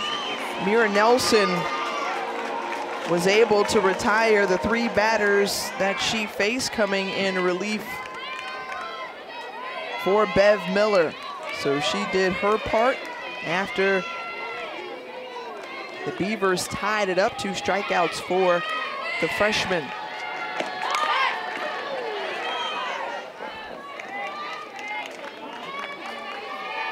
So a couple of defensive changes for the Gamecocks. We see Taylor Sloan move from third base to behind the plate. And in her stead at third base is Caitlin Sapp.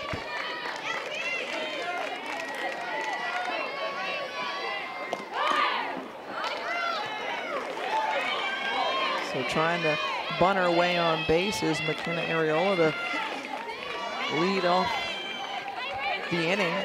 But to be successful with a drag bunt, you have to get your barrel out in front. Right now, leaving that barrel a little too deep, fouling two pitches off, and now sits 0-2 in the count.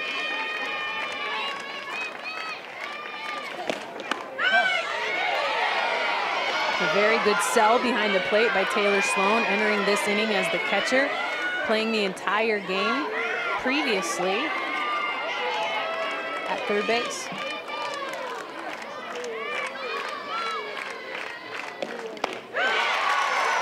Swung through that one. One down. Ninth strikeout for Whitney Gillespie. And yet again, another drop ball strikeout for Whitney Gillespie. Ariola struggling to stay through this, taking her first steps towards first base. Instead of coming right back up the middle, she'll be recorded as the first out. And over for three. Second out of the inning.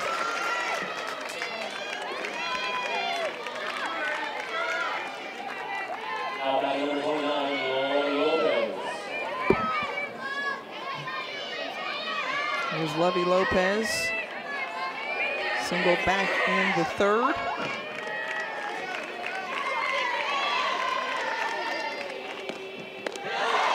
And good off-speed offering from Gillespie. We saw her dad, Jeff, in the stands earlier. And the reaction on her face after the fact, knowing she should not have swung.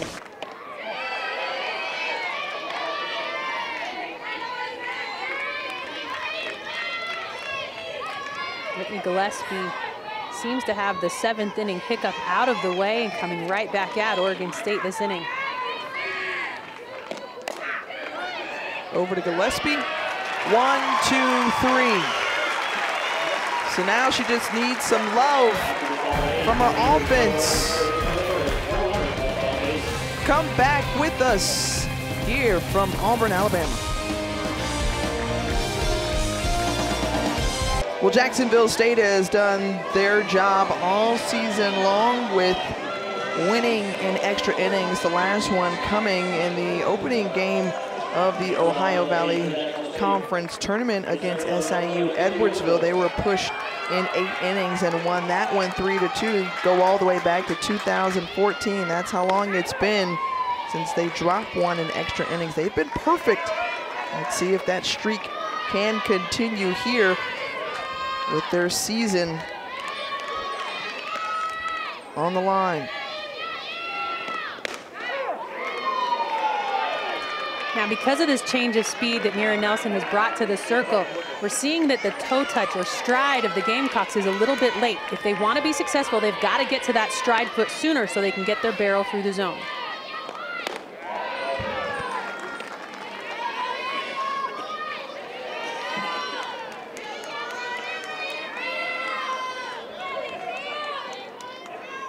We're seeing some emotion from Nelson in the circle, A couple of smiles.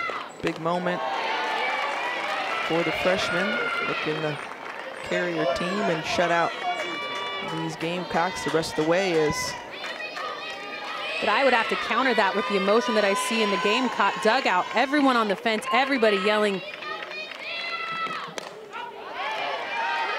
And it's because the Gamecock head is looking over. Outside the dugout, mind Outside you. No dugout. props in postseason play. That rule came out last year. And being able to keep that Gamecock head handy, sitting on the tee, looking over the Gamecocks.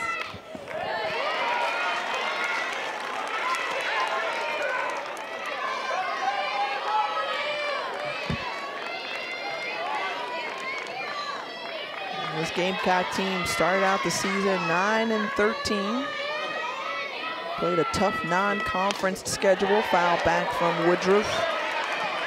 And went on to win 32 of their last 35 games.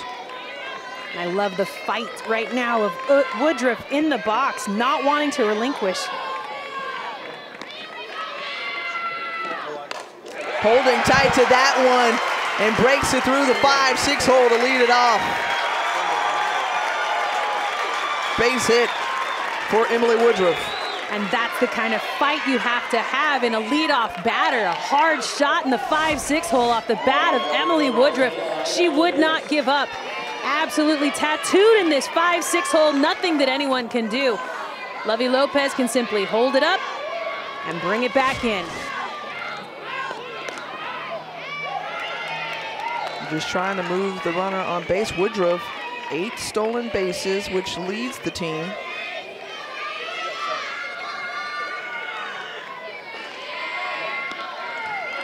Trying to implement the pass the bat mentality of Coach McGinnis. But talking to Coach McGinnis, she said, look, our team really doesn't have any kind of short game threat. We don't really have a ton of speed on the bases, so we're gonna have to hit if we wanna win. Pop that one up. Fouling out of play for Dennis. Dennis, one of the seniors, knowing that this could be her last game unless they produce and put a run up on the board to win this. Dennis writing a letter to give her teammates a little bit of extra incentive to go ahead and push ahead. She's got two singles today. Can she come up with another base hit here? Remember, it was Jacksonville State who had a golden opportunity to close out this game last inning. Had runners at first and second, no out, but Gamecocks could not advance past third base. Two for 18 overall in this regional with runners in scoring position.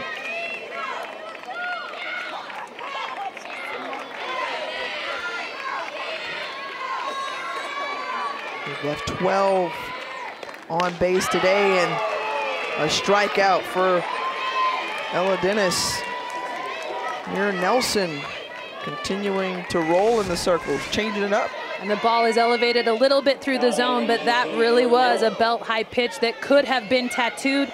She started below it though with her barrel and unable to catch up out in front of the plate. She'll be recorded as an out.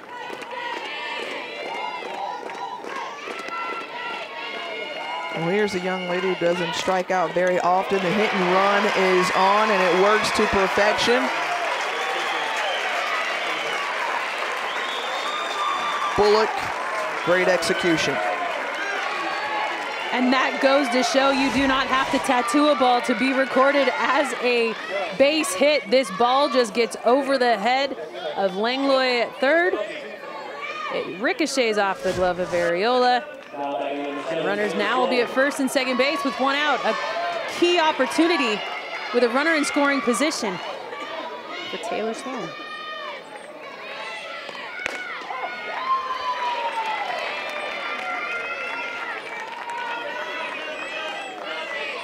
Fifteen chances. Just two runs with runners in scoring position. The Gamecocks can strike here and end this ball game. The winner of this one will play upstate. Just about 30 minutes after the conclusion of this one. So a quick turnaround, kind of reminiscent of travel ball days for many of these young ladies. And the thing that plays into it is Upstate has had quite a while to rest, recuperate, and be ready to play again. The winner of this game will have been playing softball for about two and a half hours and have to come right back and try to win again.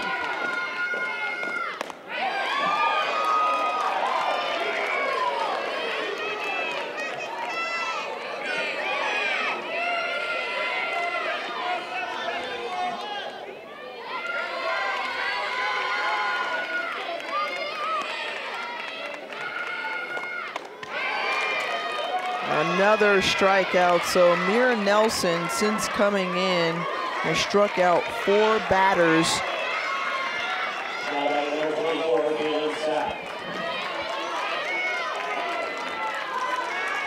Along with Jenny Dalton Hill, I'm Tiffany Greene here from the Auburn Regional. It's win or go home for one of these teams. Oregon State able to tie up the ball game in the seventh inning after the Gamecocks held tight to a 2-0 lead all the way into the seventh. The Gamecocks had a golden opportunity to finish it off last inning, but unable to do so. Another chance here. Caitlin Sapp with her first at-bat. We saw her in the defensive change. Came in at third base.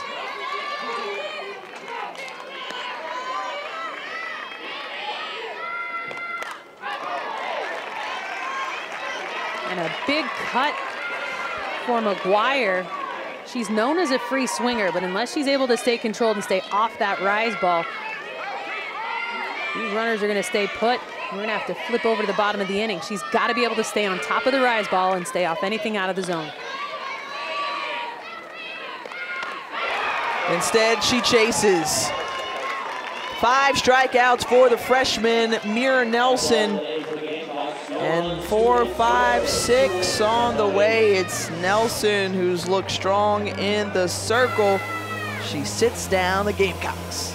Two runs apiece as we move to the top of the ninth inning. Just four hits given up by Whitney Gillespie.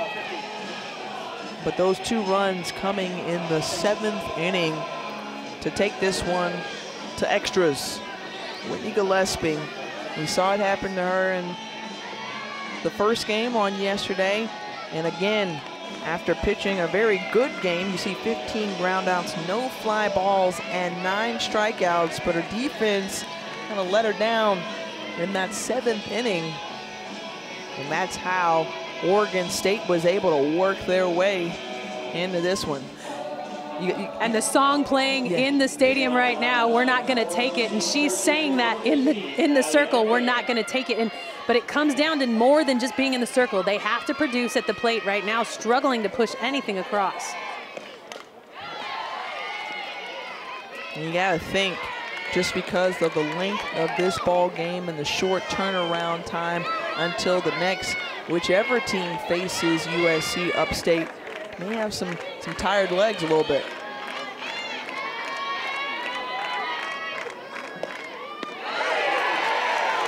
Well, and you talked in the last game with Auburn how they try to tire out the legs of the pitchers before they head into a game.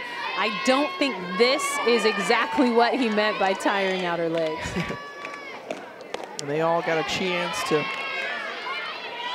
visit the kinesiology lab here in Auburn University more analytics that one can have, the better just to see how the body moves, reacts, and such. Only one hit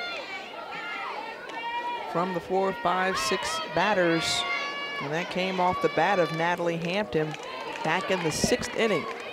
Natalie Hampton started that go-ahead inning in the seventh as the leadoff batter looking to do it again, trying to become the first base runner of the inning and push a run around and force the Gamecocks to answer. Right now, sitting with a tie score, in the ninth inning. A little free softball for the fans at the field and for you at home. This is postseason softball. And what it really comes down to is this is elimination day. So both of these teams playing to not go home. Jacksonville State traveled just two hours here. Oregon State came across a couple of time zone and 2,000, 100 miles or more for the Beavers out of Corvallis. I want to send a note down to Natalie Hampton. Let her know she does not need to hit it off her leg anymore. Let's go ahead and find some fair territory, start this inning off.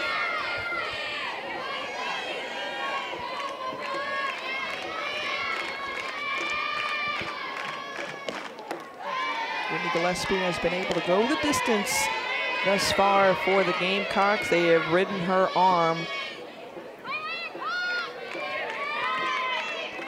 throughout this regional. The 2-2. And again, Chambers not trying to poke away at it. And another single for Natalie Hampton, much like seventh inning. And another ball down the first base line. A great hit by Hampton, very reminiscent of her last time at bat. A single into right field. Chambers unable to move and get in front of this. And Hampton will start us off at first base.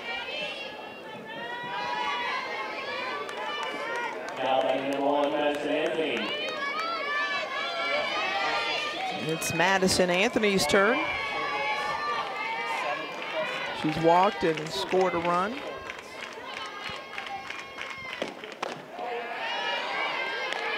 Her last time up in the seventh inning during the rally for Oregon State, she walked.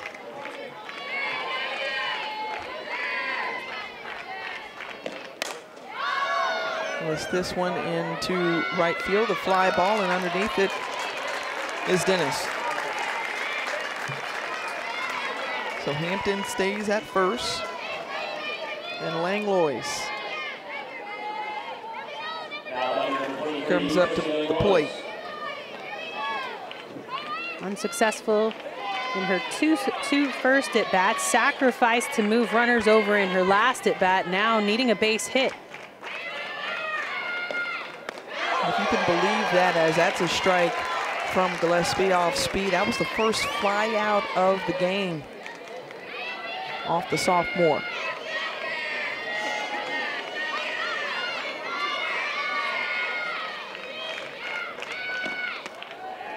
Well, and as a drop ball pitcher gets tired, her spin will not be as tight, meaning the ball will not drop off the table.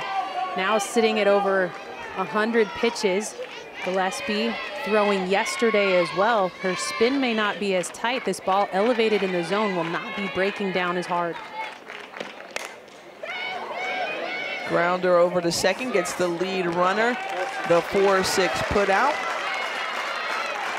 And Hampton dropped back to the bench.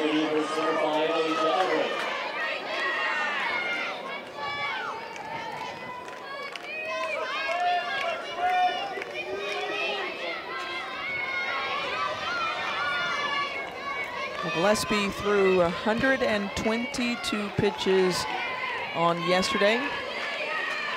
10 less than today. Make it nine less now.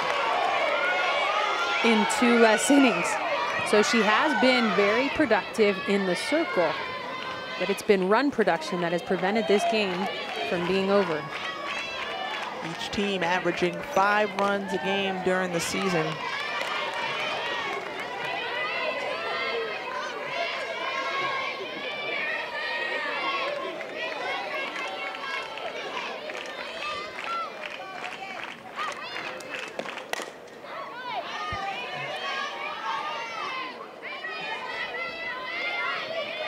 To turn on that ball, take it down the line.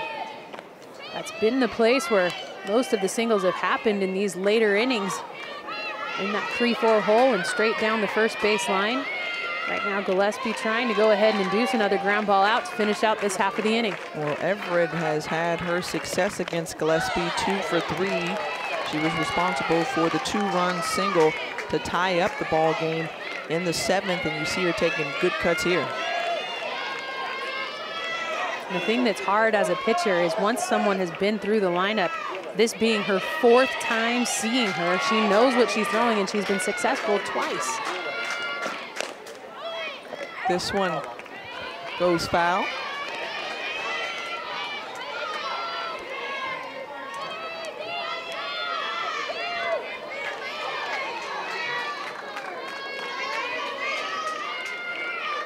Jenny, as a former power hitter, I might ask you to run down and suit up. I'm not going to say that you put on any particular color of the uniform, but And with, with three, two, and two outs, the runner will be in motion, and a big swing should be coming out of Everett, but she has to stay on something that's in the zone. And there, there it was. And that's the kind of swing you want on a 3-2 count, knowing that she doesn't want to walk her. This pitch, we have not seen be up in the zone very often today. As a drop ball pitcher, she has lived around the knees. But as she gets tired, this ball will be elevated. To be successful off of Gillespie, you have to be able to keep your hands inside and swing through a drop ball that could hang. Hung it up there. And that does it for the inning. So a runner stranded for the Beavers. But that ends the inning on the fly ball to center field. Let's go to the bottom of the ninth. Well, Jacksonville State at the 2-0 lead going into the seventh inning, but a almost deja vu for the Gamecocks as they imploded in the seventh inning and two runs come across. Alicia Everett pretty happy about that as they tied the ball game and pushed it to extra innings. Whitney Gillespie has been tough in the circle. And she's on deck as Stephanie Lewis leads it off here for the Gamecocks.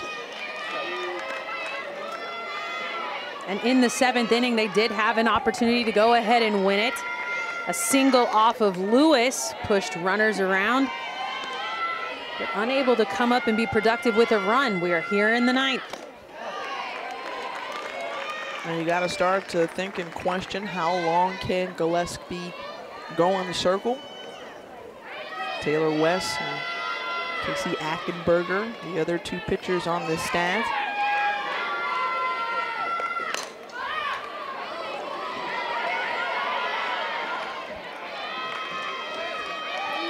So a fly out will go ahead and record the first out of the inning. Stephanie Lewis underneath that one, driving it over to foul territory. The first out of the inning will be recorded.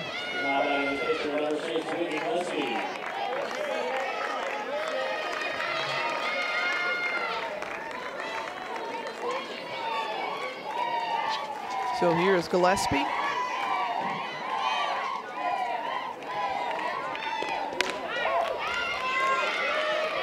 She's got eight home runs on the season.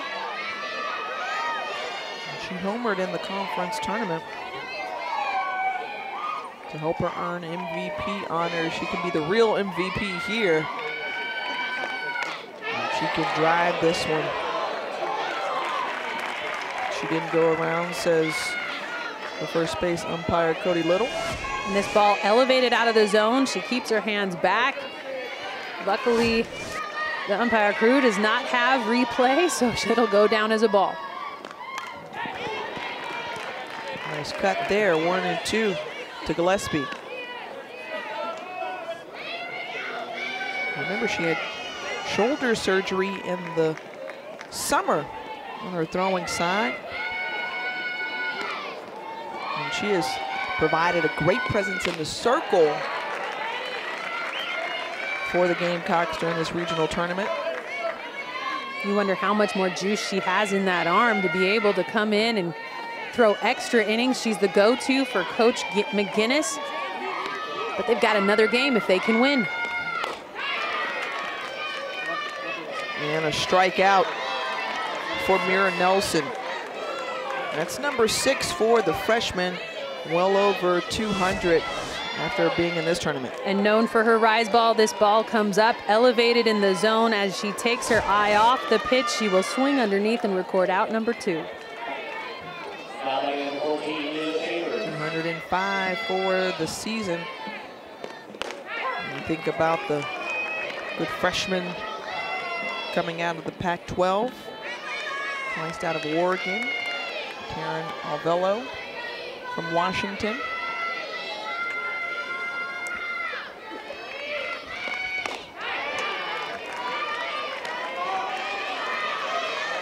And 0-2 count with two down for Leah Chambers. Leela Chambers.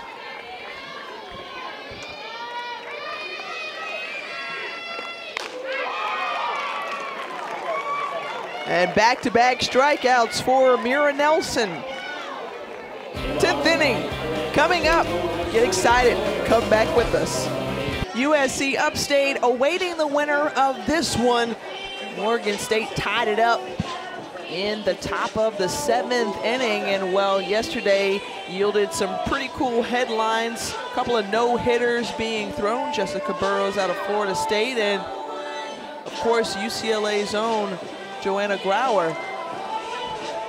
And for her, she had a perfect game, lost it after six and two thirds inning with a walk. The South Southeastern Conference came out with a resounding 10 and 1 record to open the NCAA tournament. Five coming by way of shutouts.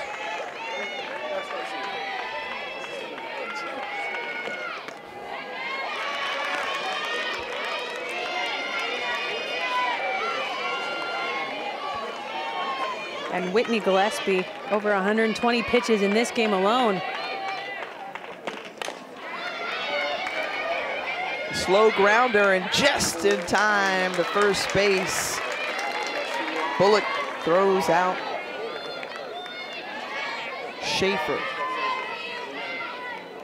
And that's where it's hard for a left-handed second baseman to be able to make the foot switch, flip around and get the out, but a good job by Jordan Bullock to go ahead and record out number one.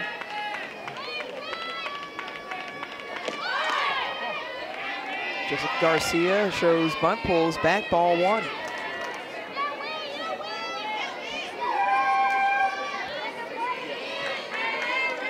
Looking around NCAA tournament, fouled that one off. We got Oregon State, one of three teams representing the Pac-12. Utah, the only team that's Utah and Washington from the West Coast advancing to the regional final. Along with Arizona, UCLA.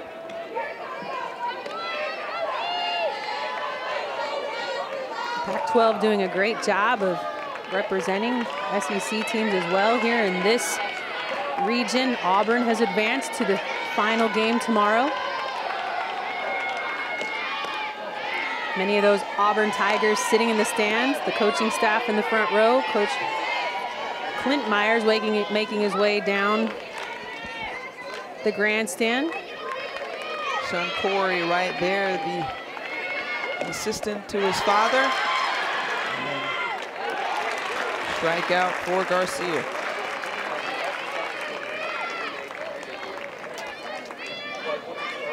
So Gillespie now in double digits with K's. She's fanned 10 Beavers batters.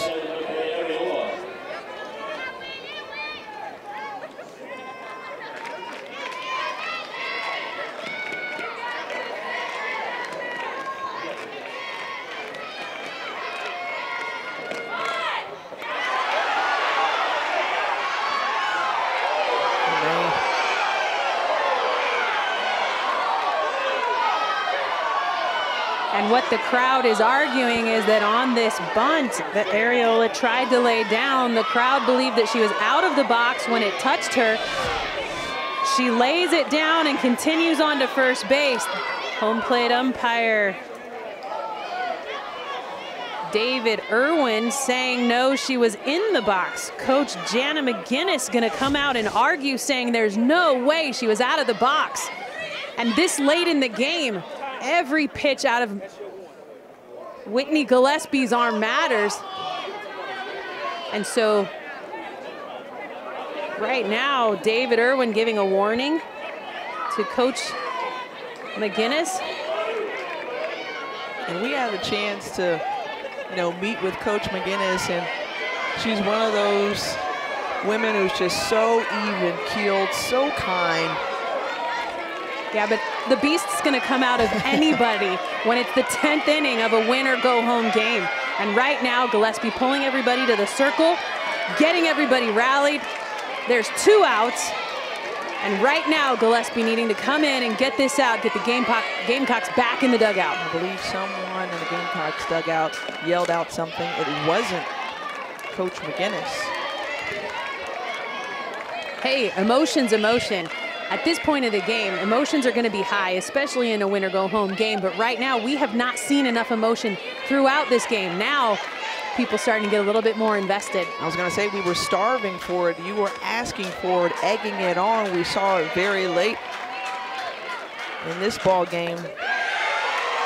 And Gillespie really wanted that one, trying to do the one-two step trot off. And she's done it a couple times during this game. The crowd trying to help her out. This one nips the corner, but not according to home plate umpire.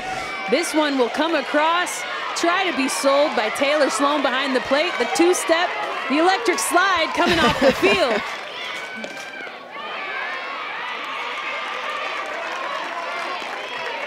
But everybody wanting this game to go ahead and find a winner.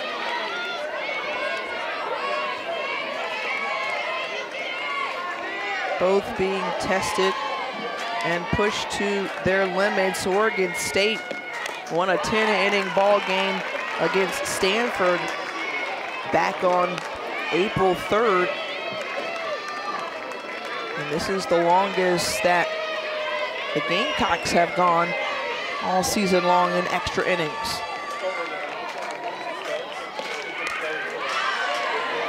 One popped foul and out of play into the stands.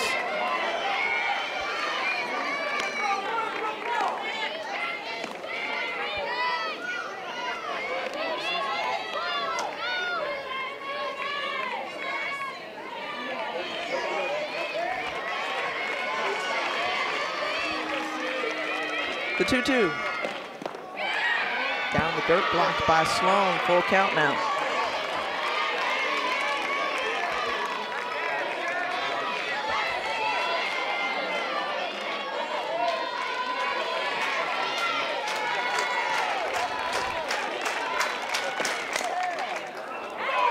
And that one called foul. David Irwin not very popular in the stands behind the plate right now. no, definitely not. But he's make that was the right call. They can't be mad at him for that one. I guess they can be. and she went around, throws it over to first. And that's the third out. We're coming back right here to Auburn, Alabama. Gamecocks, what do they have left in them? We'll see when you come back. Times in Auburn, Alabama. We are loving it here in extra innings. Oregon State and Jacksonville State, neither of these teams want to go home as we're tied at two apiece since Meehra Nelson has come into the ball game. Well, she has shut down the Jacksonville State batters. And she came in just in time with that rise ball, a different look for the Gamecocks, unable to make an adjustment, swinging through on rise balls through the zone. The Gamecocks need to stay off that pitch and stay above one at the belt. He had just three strikeouts on yesterday against USC Upstate, allowed five hits and five earned runs. Much different story here today. Anna Chisholm will look to start things off at the plate. 8.30 Eastern, 7.30 Central Time here from the Plains in Auburn, Alabama, along with Jenny Dalton Hill, Tiffany Greene, and we saw the Rally Cups come out for the Gamecocks earlier in this one, getting very creative, a work of art, if you will. Knowing that props are not allowed in the dugout in postseason play, the Gamecocks need to pull out the cups again to get another run across the board and come away with the win. Some of the Auburn Tigers were sitting just in front of our booth, including Jade Rhodes as Chisholm strikes out. Just getting a chance to take in some softball. And this ball will ride away from Chisholm. Knowing as the outside pitch comes in, you've got to be able to sit back, allow that ball to hit your front hip to drive through the other way, unable to do so. Well, Jana McGinnis asked her team not to back down on yesterday against Auburn. That's the second out of the inning. She's going to demand more of that from them as Ella Dennis has done the same. She says, I haven't asked much of you, but this weekend I just want you to commit yourselves. And right now needing to be committed both in the circle and defense and now at the plate. And Tiffany, this is who I'd like to have hitting in this situation for me. A big hitter like Ella Dennis, a senior with her season riding on the line with this game right here. Out of the Huntsville, Alabama area. She was the player of the year in her conference. Leads the team in batting average. See if she can get a board with two outs. Good crack there.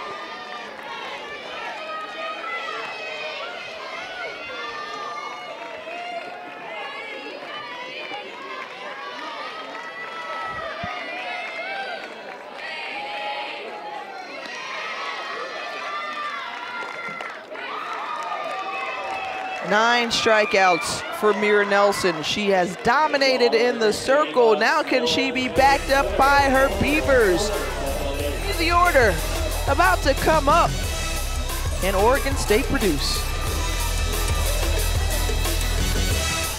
We saw rain move through the area at the start of the day in our first game. Nice 75 degree breeze moving through the ballpark. You see the flags flowing just a little bit. Smiles, we're having a good time here. As neither of these teams trying to finish out the season.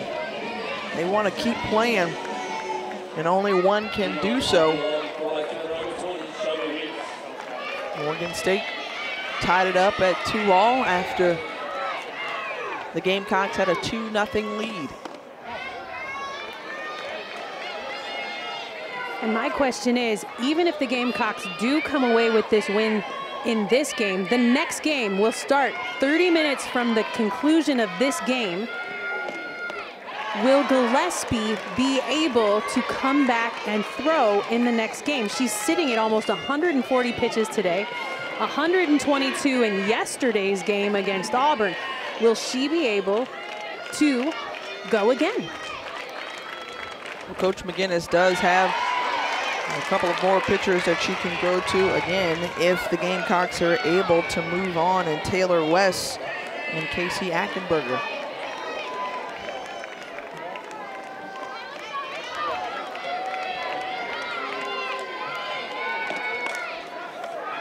Nice diving attempt from Jordan Bullock, but the leadoff batter in the Beavers is on base. Shelby Weeks with the base hit.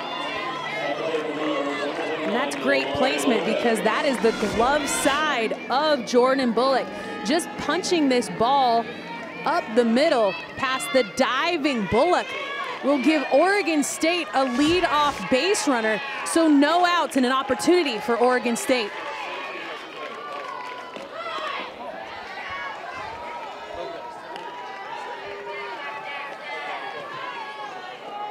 Lovey Lopez out of Santa Fe Springs, California.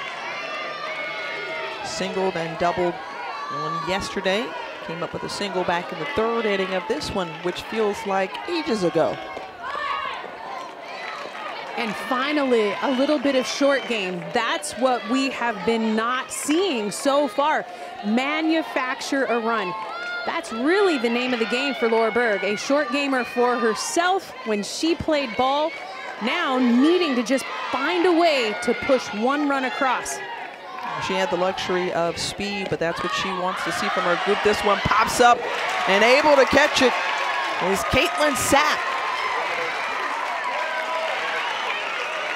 So the sacrifice attempt gone awry for the Beavers, and it's one away. And that is a missed opportunity for Oregon State. Being able to move over Shelby Weeks. Because with Natalie Hampton coming up, she has had a single in each of her last two at-bats. After striking out her first two against Whitney Gillespie, she started to figure things out a little bit, led the rally that started off in the seventh inning.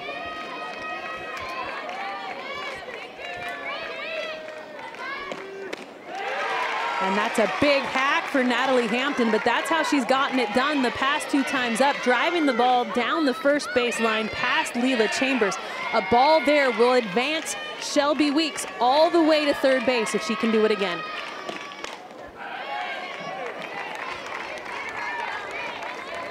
Talking about needing some small ball, Oregon State has had 16 sacrifices all season long.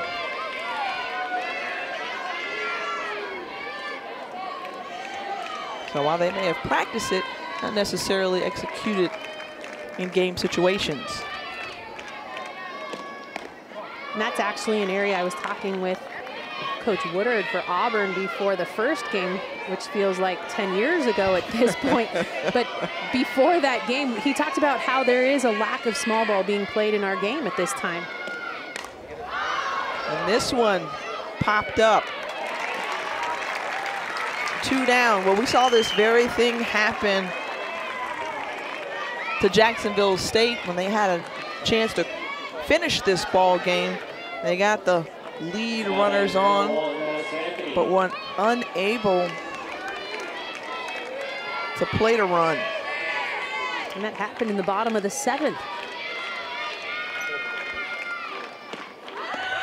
And taking off is Shelby Weeks, and good pickup there from Anna Chisholm. So the runner in scoring position, and Weeks with her ninth stolen base of the season. Trying to be gunned down by Sloan. Not in time. And a great play by Sloan to come up with this ball and go ahead and go for the throw. A great position. I thought she did nick the, nick the runner. And Dennis is there for the third out.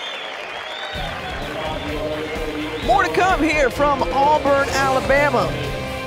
Stay with us. This is compelling softball, compelling television. How about it? From the Auburn Regional, Oregon State, Jacksonville State, moving into the bottom of 11, tied at two. Whitney Gillespie, she's done her job in the circle, matching up against Meehra Nelson, who came in in the seventh inning. Between them, a combination of 20 strikeouts between the two youngsters. And Gillespie has been magical in the circle. Only one hiccup in the bottom of the seventh inning, allowing two runs to tie it up. Jordan Bullock starts things off. Let's see if she's able to figure out Meehra Nelson. And if she can get on base, was able to do so singled the last time up. In fact, she's reached base every at-bat here today. Three singles, two walks. So this is the perfect batter to have up. She's seeing the ball well. She knows her zone, and a lead-off batter on base can be the difference between a win and a loss here.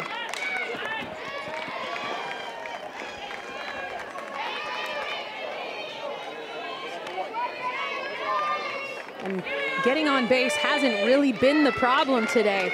It's been the run production that has been sitting back and not being productive. So with runners in scoring position, that's been the problem. Right now, needing a base runner to start things off. Pops this one back and foul.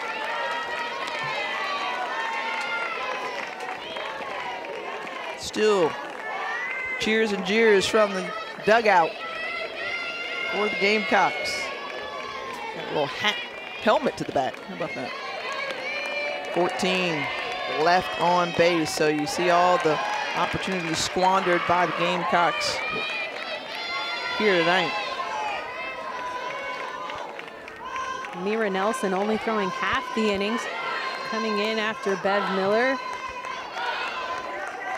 But with that ball up in the zone, being effective at getting the Gamecocks out.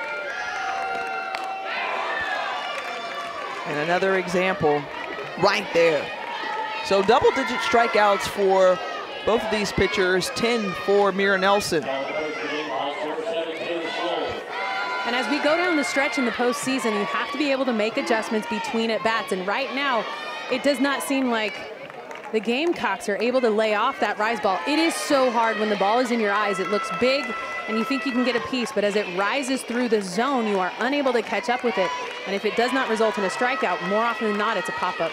Well, no matter who wins this one, if you're the pitching coaches for both of these teams, you've got to feel good because you have a freshman and a sophomore in the circle there for Gillespie going the distance. Marcy Green was all smiles because Meehra Nelson has struck out 10 of the 13 batters she has faced, or rather 13 outs, excuse me, here today. USC Upstate's like, you, you want us to leave? You want us, you want us to go? What do, what do you want us to do? They say let's play.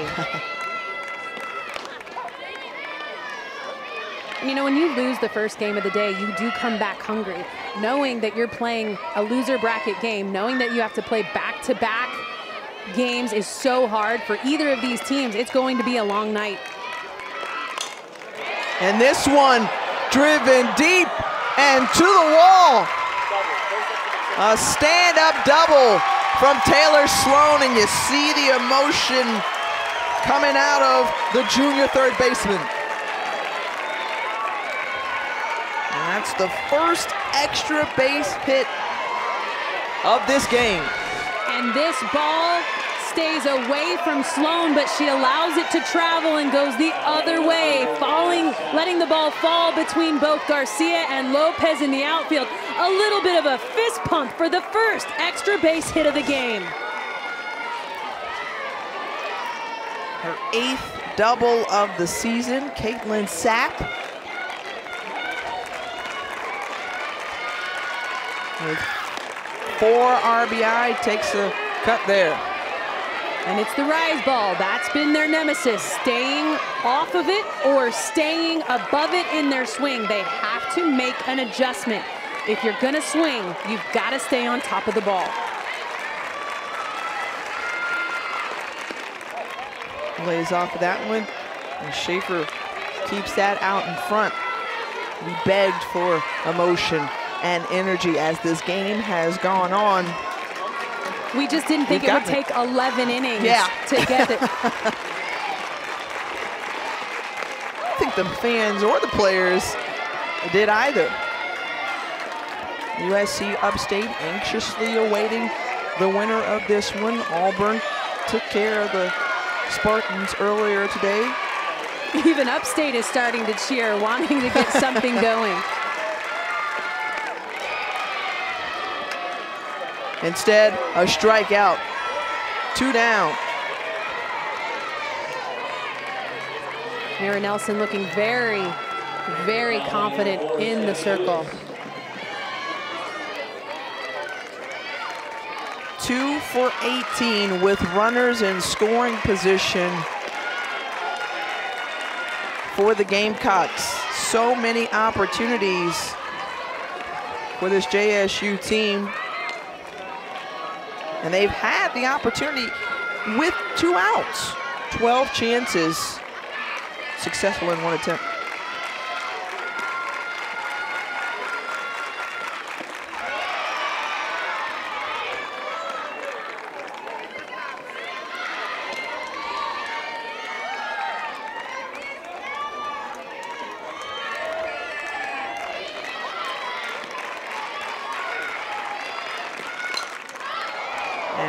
Up. Gonna keep this party going from the Auburn Regional. Neither team giving in. We've got more. Top of the 12th on the way. Well, after the 11th inning, this is officially the longest game in Jacksonville State history. And still in the circle is Whitney Gillespie. She's a trooper for sure. Pitched all 12 innings thus far for the Gamecocks. But when you are this invested in a game, you do not want to give the ball up. And right now, Whitney Gillespie not needing to. She has been so effective through 11 innings. She does sit at 150 pitches. She threw last night against Auburn, throwing 122 pitches. And the keynote that in that stat is the fact that in the offseason over the summer, she had shoulder surgery. So not only is she coming in strong, but she's coming in absolutely ready to go.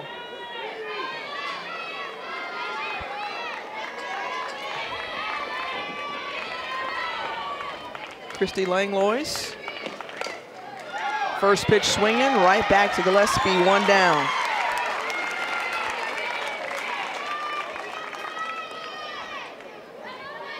And that's exactly the kind of at bat that Gillespie would like. One pitch at bats will save her.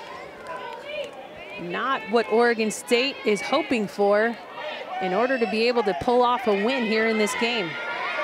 Jenny, from your playing days, do you remember going to extra innings and tussling this long with an opponent? I remember big games against UCLA in conference. I remember being at UCLA Stadium, going extra innings against them. And you know what won it? A home run. Was it off your bat? Mm, Ooh. No. Okay. Leah Bratz came up with the big home run. She was a freshman that year. Ended it not in walk-off fashion. We were away, had to hold him for three more outs. But right now, it looks like a home run is going to have to be the thing that ends it here as well. That one going in for a strike for Gillespie. You mentioned the fact that she had shoulder surgery in the summer, made her first appearance back on March 8th, just before the start of conference play after missing the first 18 games of the season.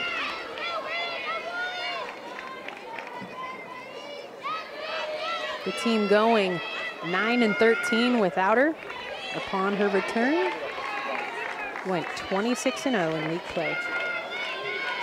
Just one of three Division One teams to go undefeated in their conference this season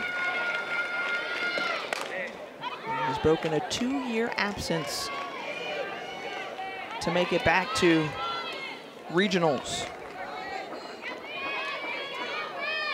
Oregon State, last time they were here was 2013 with their head coach Laura Berg.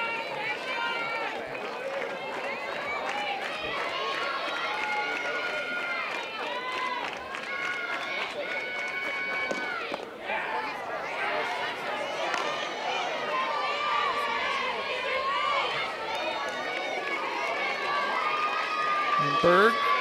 Interesting note about her. You hit me to this one prior to coaching. She was a police officer with the LAPD. Don't let the size fool you. She's a beat cop. Oh, she's a tough nugget. I tell you what, you do not want to meet that girl in a bad mood because she can take it to you. There's no other way you can describe it because you don't win three gold medals, have four Olympic gold medals, and not be a fighter.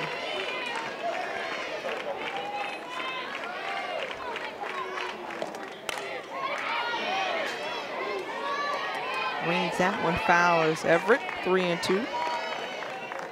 Gillespie's father, Jeff, sitting up and watching, knowing what rides on the line, an opportunity to watch his daughter play for seven more innings or a short trip back home. Well, this is an elimination game. It'll be the end of the road for one of these teams.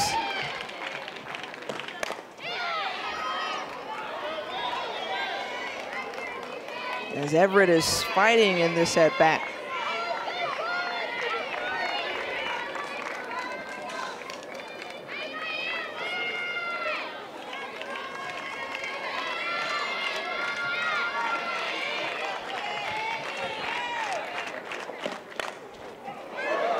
Just foul and past the glove of Chambers.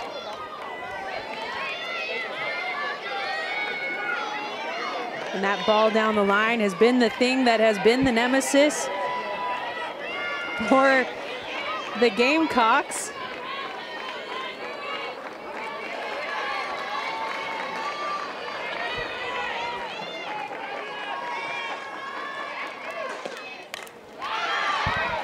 Popped up and just out of play.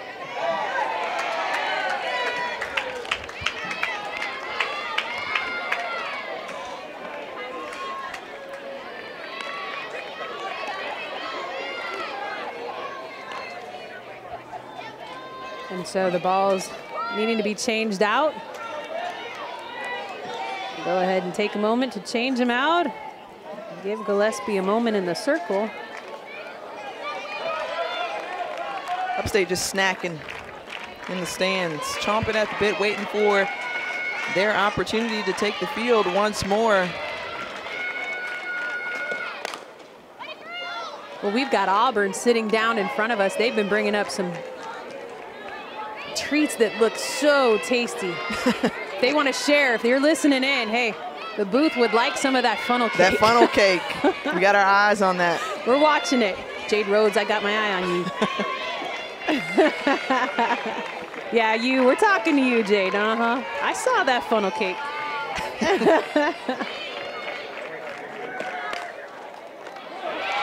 and a good play by the first baseman, Chambers.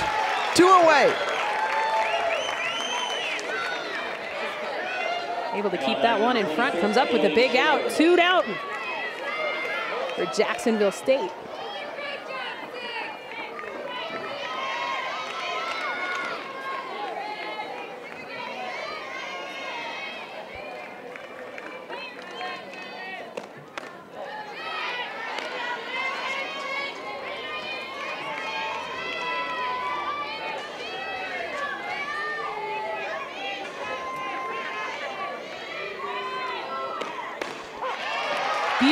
Beautiful pitch by Gillespie. This deep in the game, 166 pitches in, still able to locate that drop ball. A great pitch by Gillespie, hitting the outside corner. A good frame by Taylor Sloan. And right back to Gillespie. She recorded two of the three outs. And she will lead things off in the bottom of the 12th. Back with us. We've got more. About the assists from the crowd, Jade Rhodes, kind enough to share her funnel cake, give us a sugar rush as we move here to the bottom of the 12th inning. It was nice and tasty. Yeah, what's this wee business? I didn't get a bite. you didn't grab. Yeah. Got to be aggressive, right? That's right. You want the win, you got to go for it. That's right. And Both. right now, that's what the Gamecocks need to do. Come out and grab what they want. Nice tie-in there. Gillespie swinging at the first pitch. Gillespie wanting this game to get over. Knowing what rides on the line, another seven innings of ball to push till tomorrow. But right now, throwing so well in the circle, needing to come up with a base hit. It's almost like we're entering almost a full second game.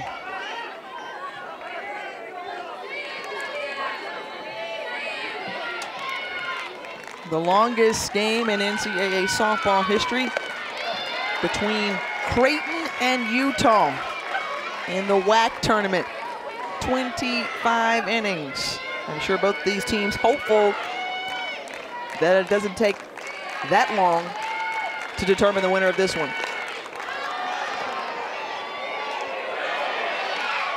And popped up for the first out. Schaefer catches that one. Jo Evans now at Texas A&M was the coach at Creighton for the Blue Jays at that time. Texas A&M losing their opening game, the only SEC team to lose the opening round game, losing to Texas five to nothing. The interesting stat in that one, all five of those runs came on solo home runs. Right now, looking for a solo home run to finish this one off.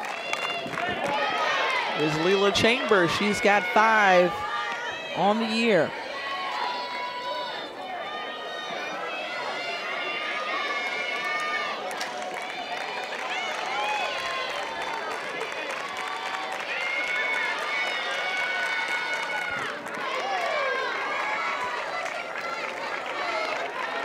Not only does she have five on the year, but she had two in the conference tournament happening just a week ago. So she has really been seeing the ball well as of late. A quick update to Texas A&M, the number 16 overall seed in the tournament. They came back to win 9 to 3 in the elimination game against Texas. And this one popped high and in the right center. Two down.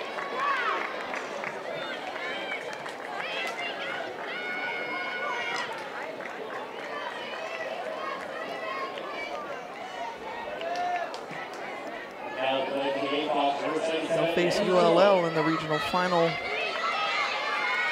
on tomorrow. The Raging Cajuns moving on and boy, a lot of home runs in that bracket between A&M, Texas, and the University of Louisiana Lafayette. Interestingly enough, Boston able to hit a home run, so each with double-digit home runs or more. Chasing that one is Chisholm, one and one.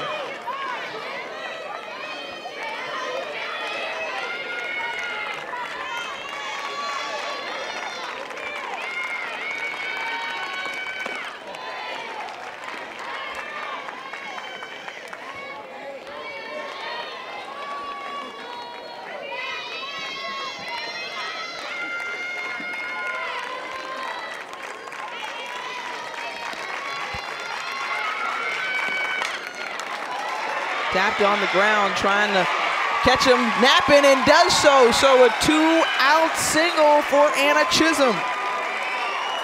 And that's the short game we have been missing in this contest. It needs to happen though prior to two outs. A great drag bunt. Location of this, not necessarily where it was supposed to be, but because it caught Madison Anthony off guard, she's unable to get all the way over there and Chisholm will be on first base. Woodruff turns on that one foul. Chisholm out of St. Louis, Missouri with six stolen bases on the year.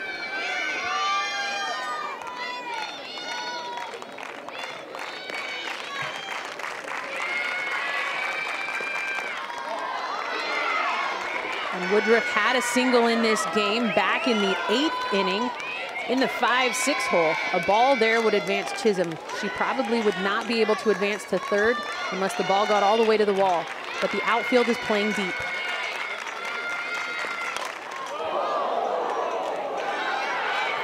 It has the height and the distance.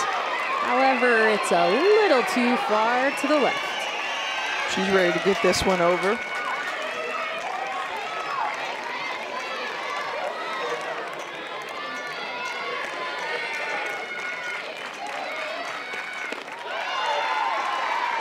Ball low.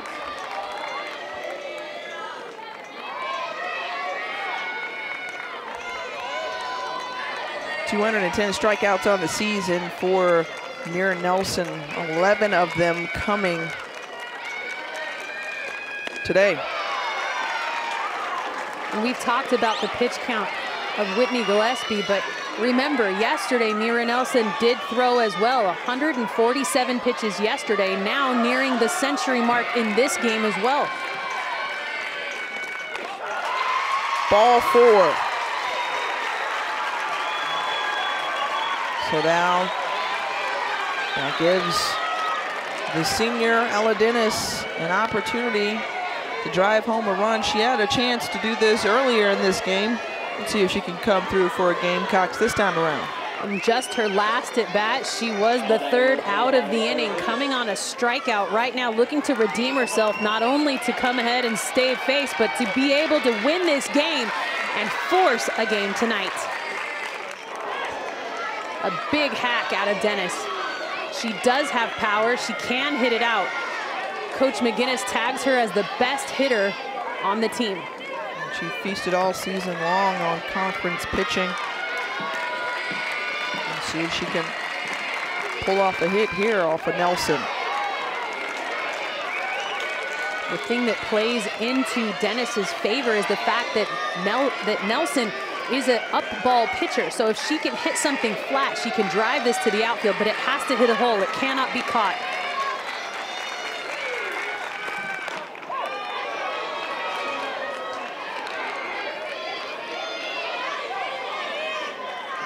With two outs, an elevated hit will not work. It has to be a single to push Chisholm around for the game winner.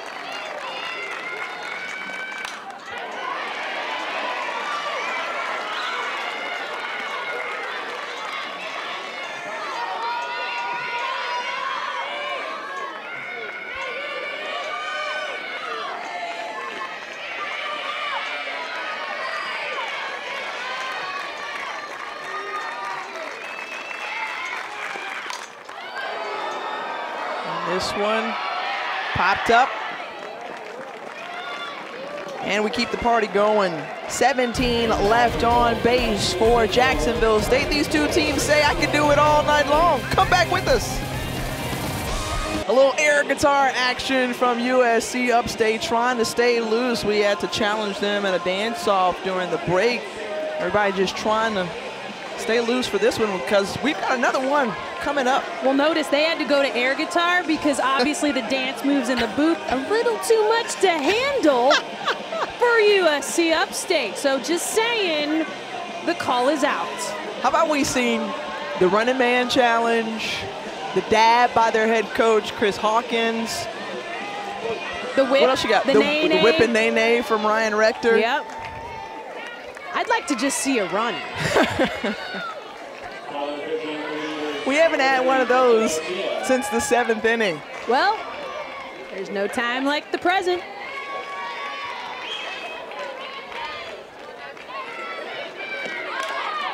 The bunt laid down, and that one, it's a foul ball. So good idea from Jessica Garcia. Rather, she's safe, excuse me. And what the home plate umpire was calling was there was no contact with her out of the box. So as that ball was going down, she did a high leg kick to try to stay out of the way. She will motor her way down and give Oregon State a base runner. The ball does come in close to her, but she gets herself out of the way. Home plate umpire calling no contact and a runner for Oregon State. She is speedy, so you're ready to run at any opportunity multi-sport athlete in high school. You see the 5'10 frame on her. Very good basketball player as well. Averaged 20 points and eight rebounds. At the high school level.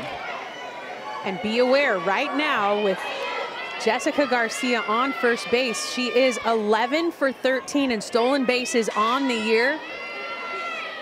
She'll go ahead and put that wrist brace on just for protection as a slide in precaution.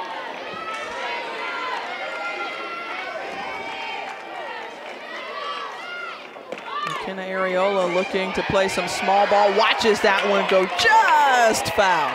A great move by Jacksonville State to be able to play that ball, let it spin.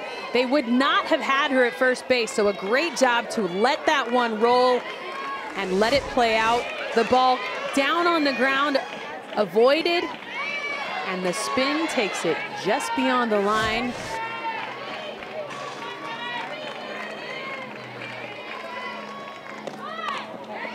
Anticipating a bunt, a sacrifice from McKenna Ariola. And the Gamecocks moving in. And Ariola has been unsuccessful all day with four strikeouts. Right now, looking to move a runner. The count sits at three and one. She can bunt in this situation.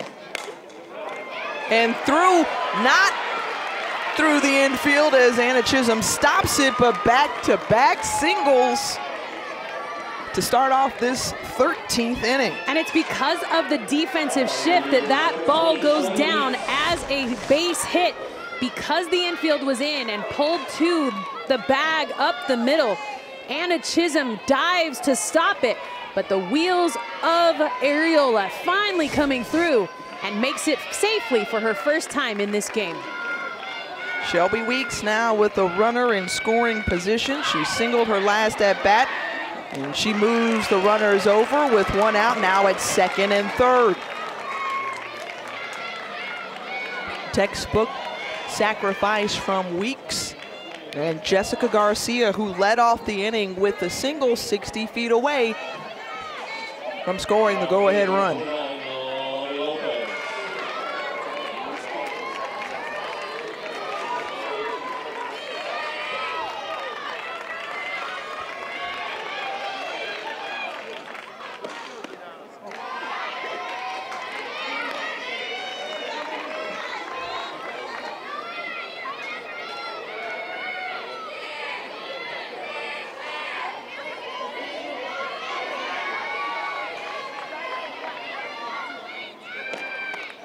Went high and tight to Lopez, ball two.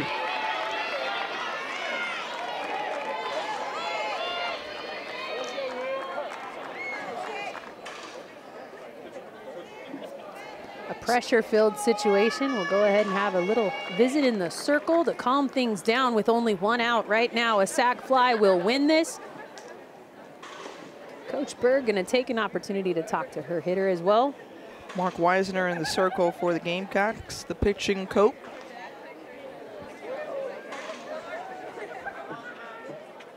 In his 20th season with the program and just trying to check on the status of his sophomore Whitney Gillespie. She's gone the entire distance, 11 strikeouts, nearly a strikeout per inning in this one and only given up one walk.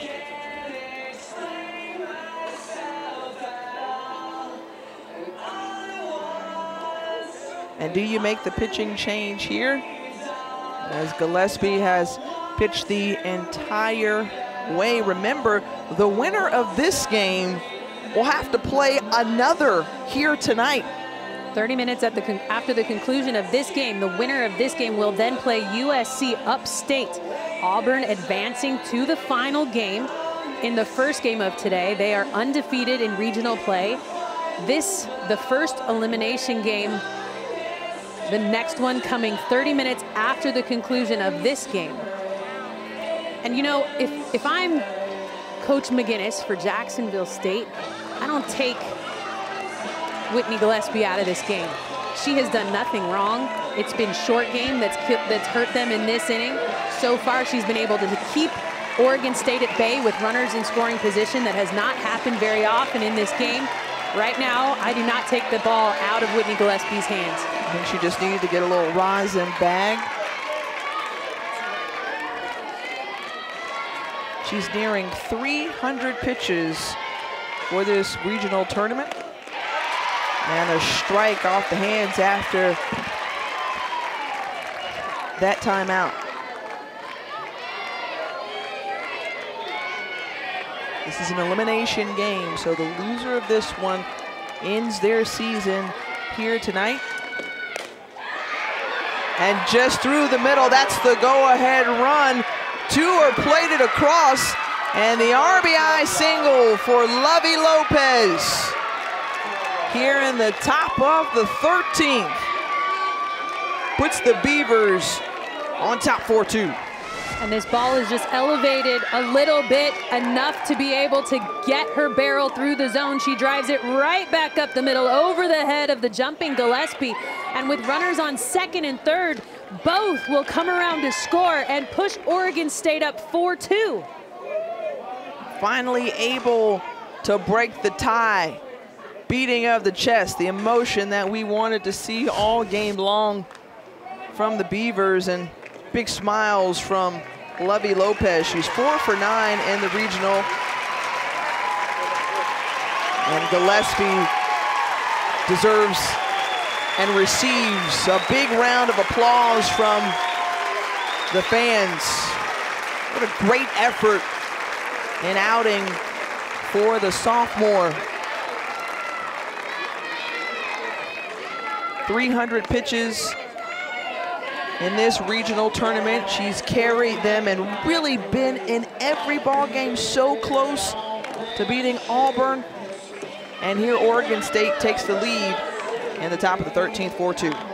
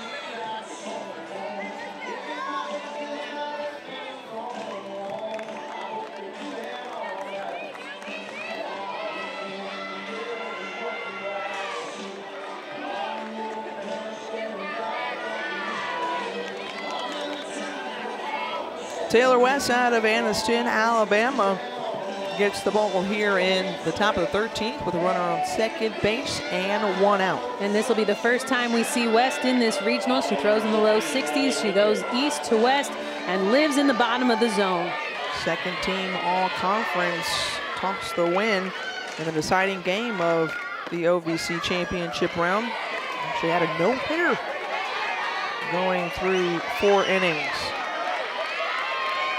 Tough act to follow from Whitney Gillespie, who had 19 innings pitched in this regional.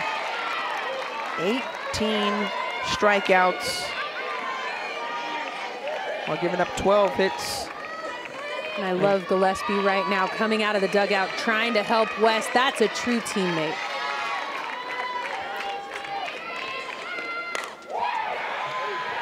And that's what McGinnis said of her players, the fact that they are servants of the team. Very humble, never above one another, and a great display of that. As you pointed out, Gillespie coming out of the dugout. And to be another voice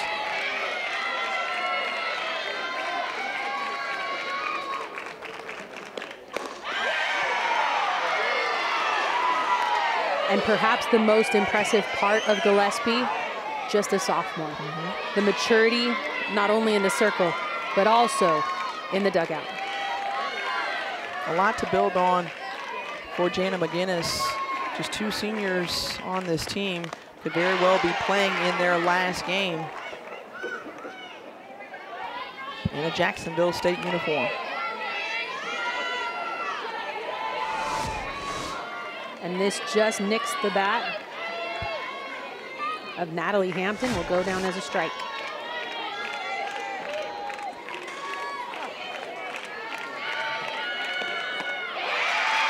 And a strikeout for the first batter she faces in Taylor Wesson. Whitney Gillespie pumped up about it. And this pitch on the outside part of the plate, West able to bring it outside, that screwball coming off the plate. Too much for Hampton to catch up to. Great pitch by West for the out.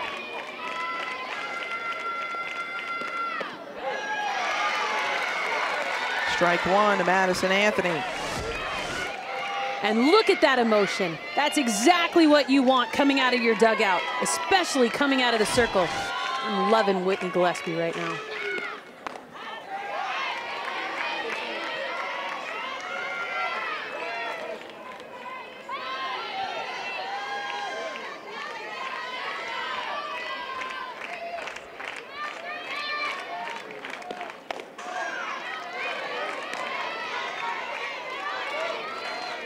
Lovey Lopez broke the tie with a two-run single to give the Beavers a 4-2 cushion.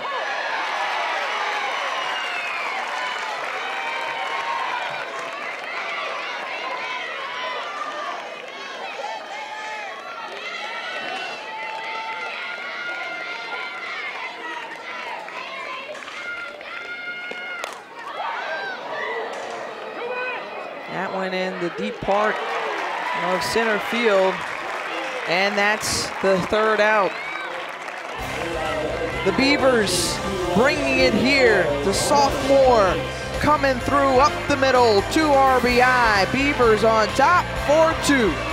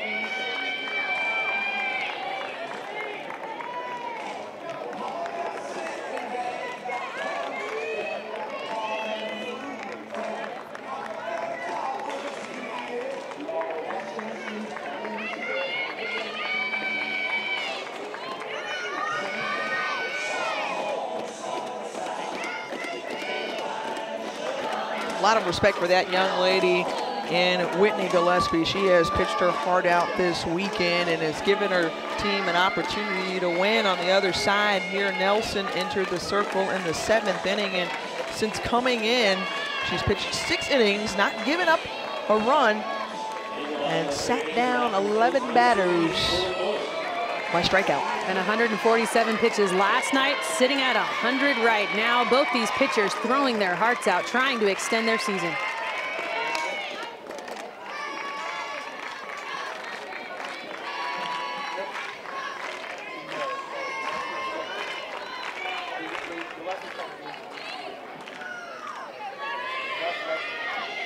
Meehra Nelson showing a smile in the circle, a little bit more emotion than we've seen. Just took two runs, right? Yep. That always helps. As trailing back was McKenna Ariola, and at second base is Jordan Bullock off the drop. And that's a great heads-up play for Jordan Bullock to lead off, to be able to go ahead and quickly advance to second base on the miscue by Ariola. A fly ball that just seems to get away. You're taught early to catch with two hands, and the reason being right there. So now the tying run at the plate for Taylor Sloan. She's got just one home run on the season.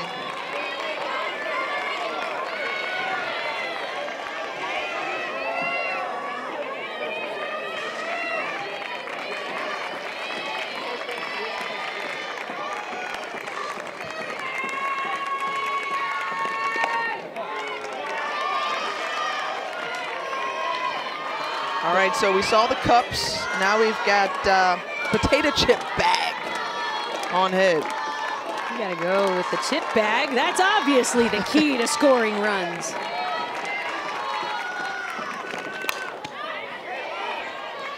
You'd have to believe that if they do go ahead and tie this or go ahead, that chip bag's gonna be coming out again in the next game.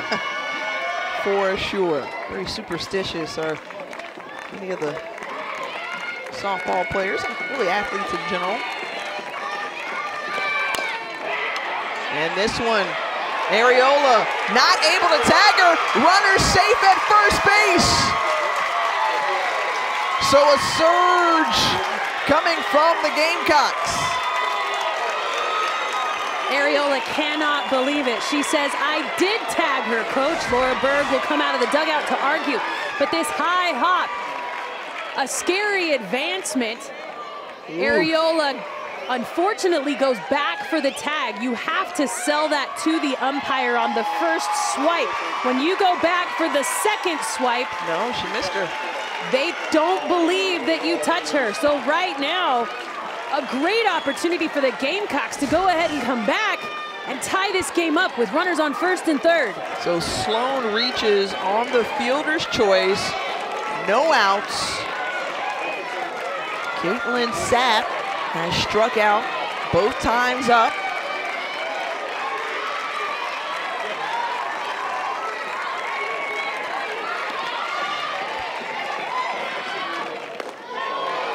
Swing and a miss.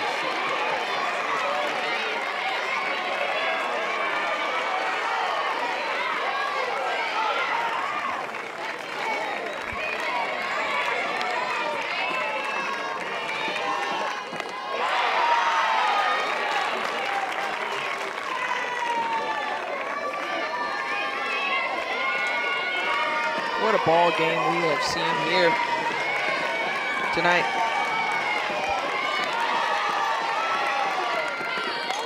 And laying down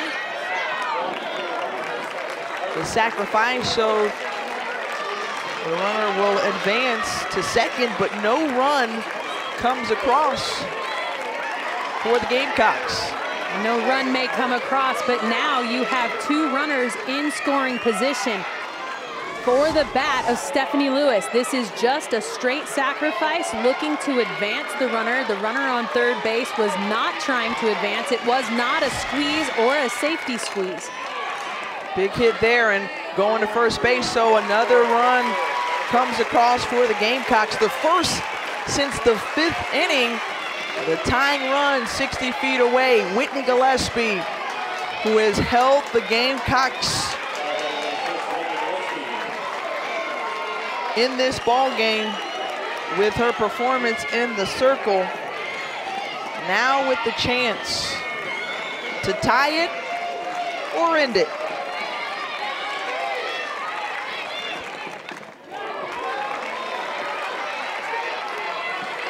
And you can't script it any better. The heart and soul of this athlete, Whitney Gillespie, that's who I want to have the bat. The bat needs to be in her hands. Leave it up to her. 300 pitches in two days. Absolutely has earned the right to be the hitter to decide the end of this game. Winner stays alive and advances to the game following this win against USC Upstate. The loser will cap their season here in Auburn. Gritty performance in the circle from Gillespie. We saw her showing her support for her teammates from the dugout. Here we go. Yep, she drives it to the wall. Tie ball game. Whitney Gillespie saying, I'm going for two. Oh, baby.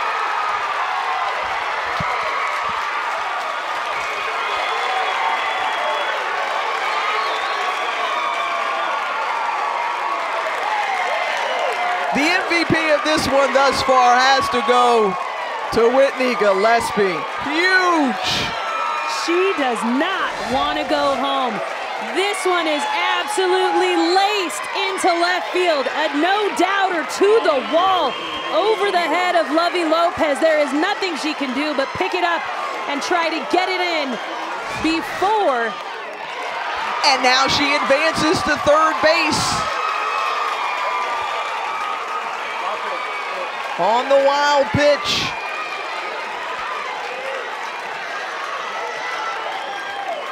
And the momentum has swung in the hands of the Gamecocks. Jana McGinnis giving a high five to the sophomore.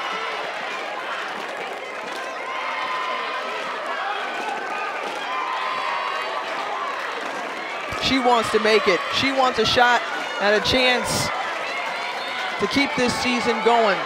Trying to will her teammate Leela Chambers, who's up to bat, saying this is your time, young lady.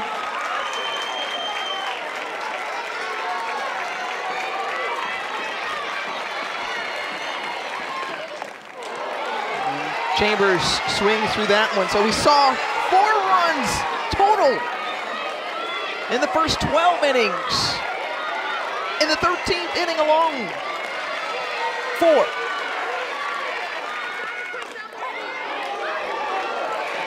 Two strikes to Chambers. And Jacksonville State is one hit away from winning this game. They had the opportunity in the seventh to do it, not able to produce. That's how we got to extras. And Chambers, ooh, so close staying off of that one. Tiffany, you cannot leave it in the hands of the umpire. Right now, stay aggressive around the zone with two strikes. You've got to take your future in your own hands.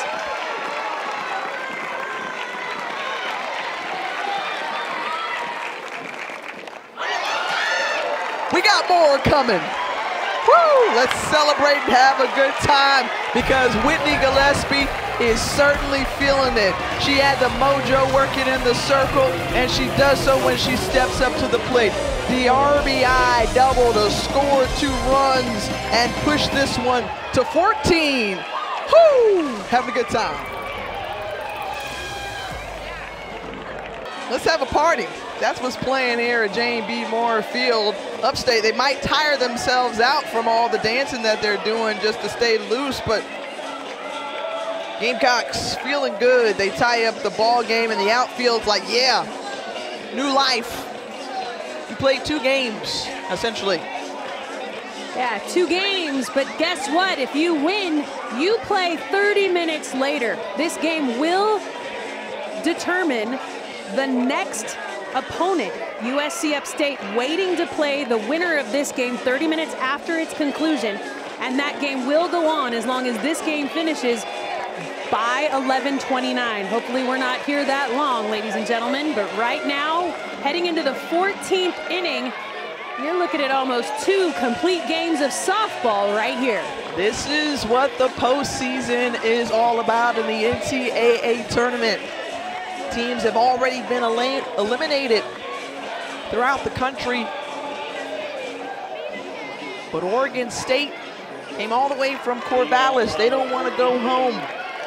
And been here since 2013. And for Jacksonville State, it's been a couple of years for them as well.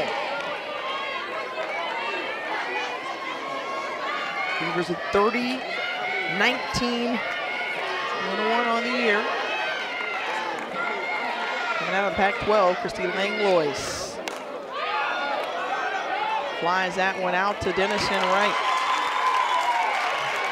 And Tiffany, we may be in the 14th inning, but this is the first time that any of these Oregon State hitters are seeing Taylor West just being brought in for the last two outs in the 13th inning. So right now, Taylor West has the advantage with Oregon State not knowing what she looks like at the plate.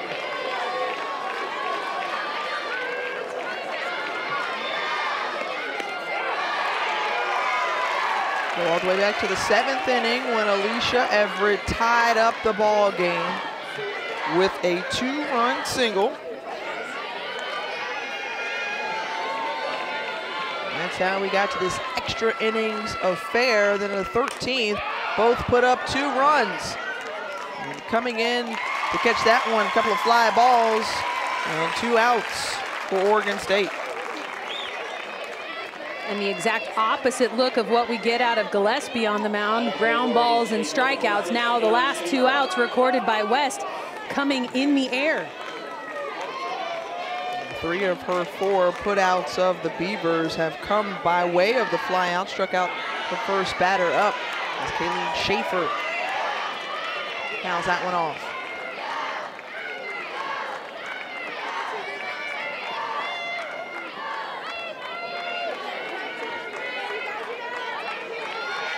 I love the fact that the fans are just as dedicated to be here take in some great softball all day long here from Field. Well, we saw a change of the guard coming in about the seventh inning of this game with the fans expecting to see game three on the day, not knowing they'd see some extra softball.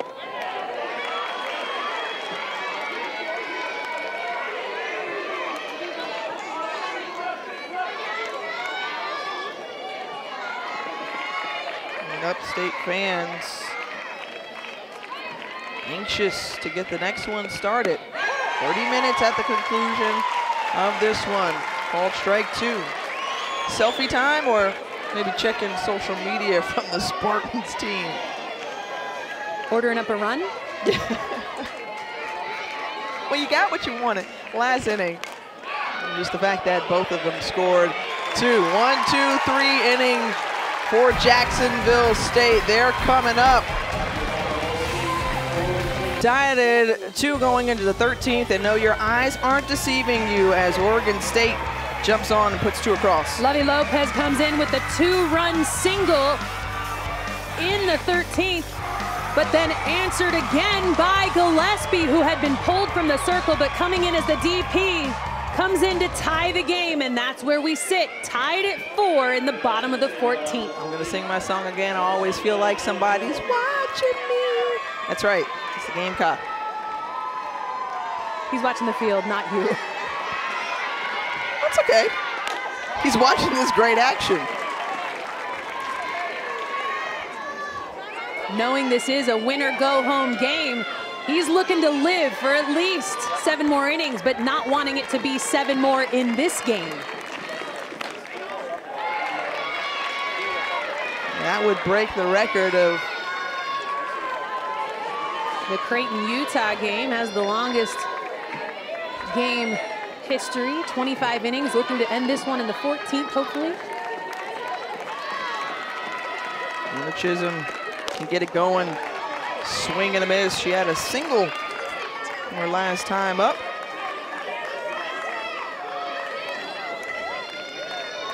And that single is what led off the inning to score those two runs.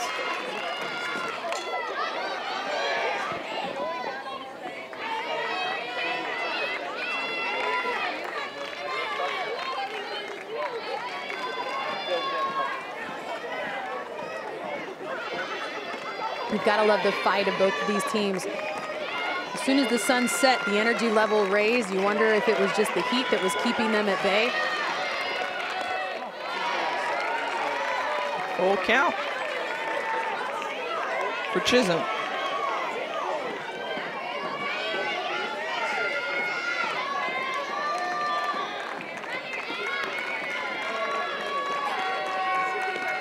And she's on with the base on ball.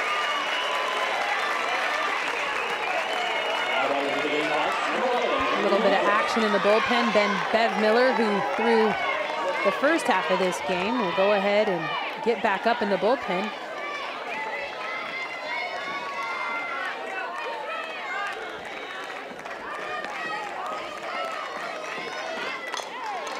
High chopper, Nelson goes to first, and that one gets past Madison Anthony.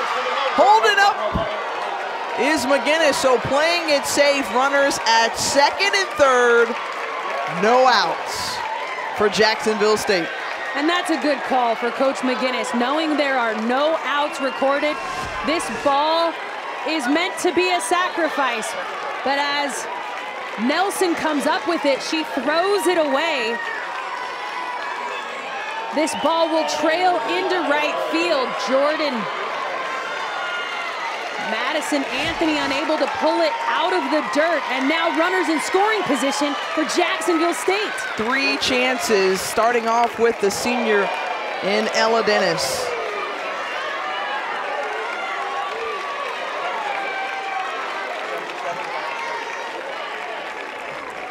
Calls a quick timeout.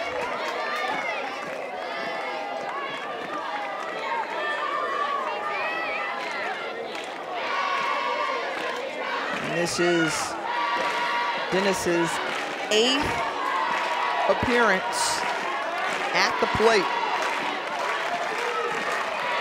The lead off in the lineup for Jacksonville State. There's Anna Chisholm, the winning run, standing on third base.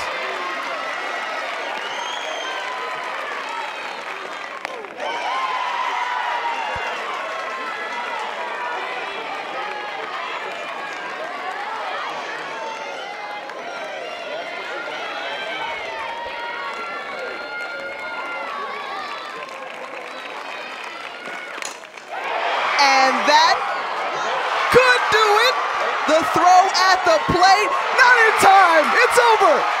Jacksonville State wins it.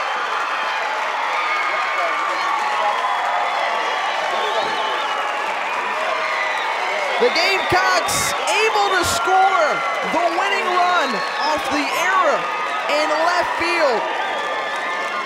And a gritty performance by both of these teams.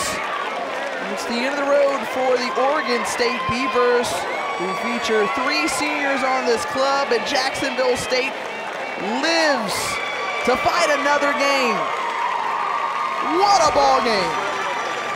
This drive to the outside part of the plate. Dennis is able to keep this ball deep in her swing, driving it the other way. But Lovey Lopez looking for the out before she was able to secure the ball. Jacksonville State comes away with the win in the bottom of the 14th inning. Whitney Gillespie made it happen in the circle. And four hours and 10 minutes later, the Gamecocks come out victorious. The emotion out of Anna Chisholm and the Gamecocks. Whitney Gillespie, so excited. But their day is not over here at Jane B. Moore Field. Meanwhile, Oregon State wraps up their season with a record of 30, 20, and 1. And after 14 innings, it's Jacksonville Upstate, rather Jacksonville State will finish face off against USC Upstate. It's been a long one. Help me folks here as they will play in just a little bit. The winner of our next game will advance to tomorrow's regional final against Auburn. That game set to start at 2.30 on Sunday. What a terrific ball game. Neither team wanting to give up or go home. Our final score, five to four, Jacksonville State Gamecocks able to go the distance. This marathon game ends for Jenny Dalton Hill and our entire crew. Tiffany Greene saying thanks and see you soon from Auburn.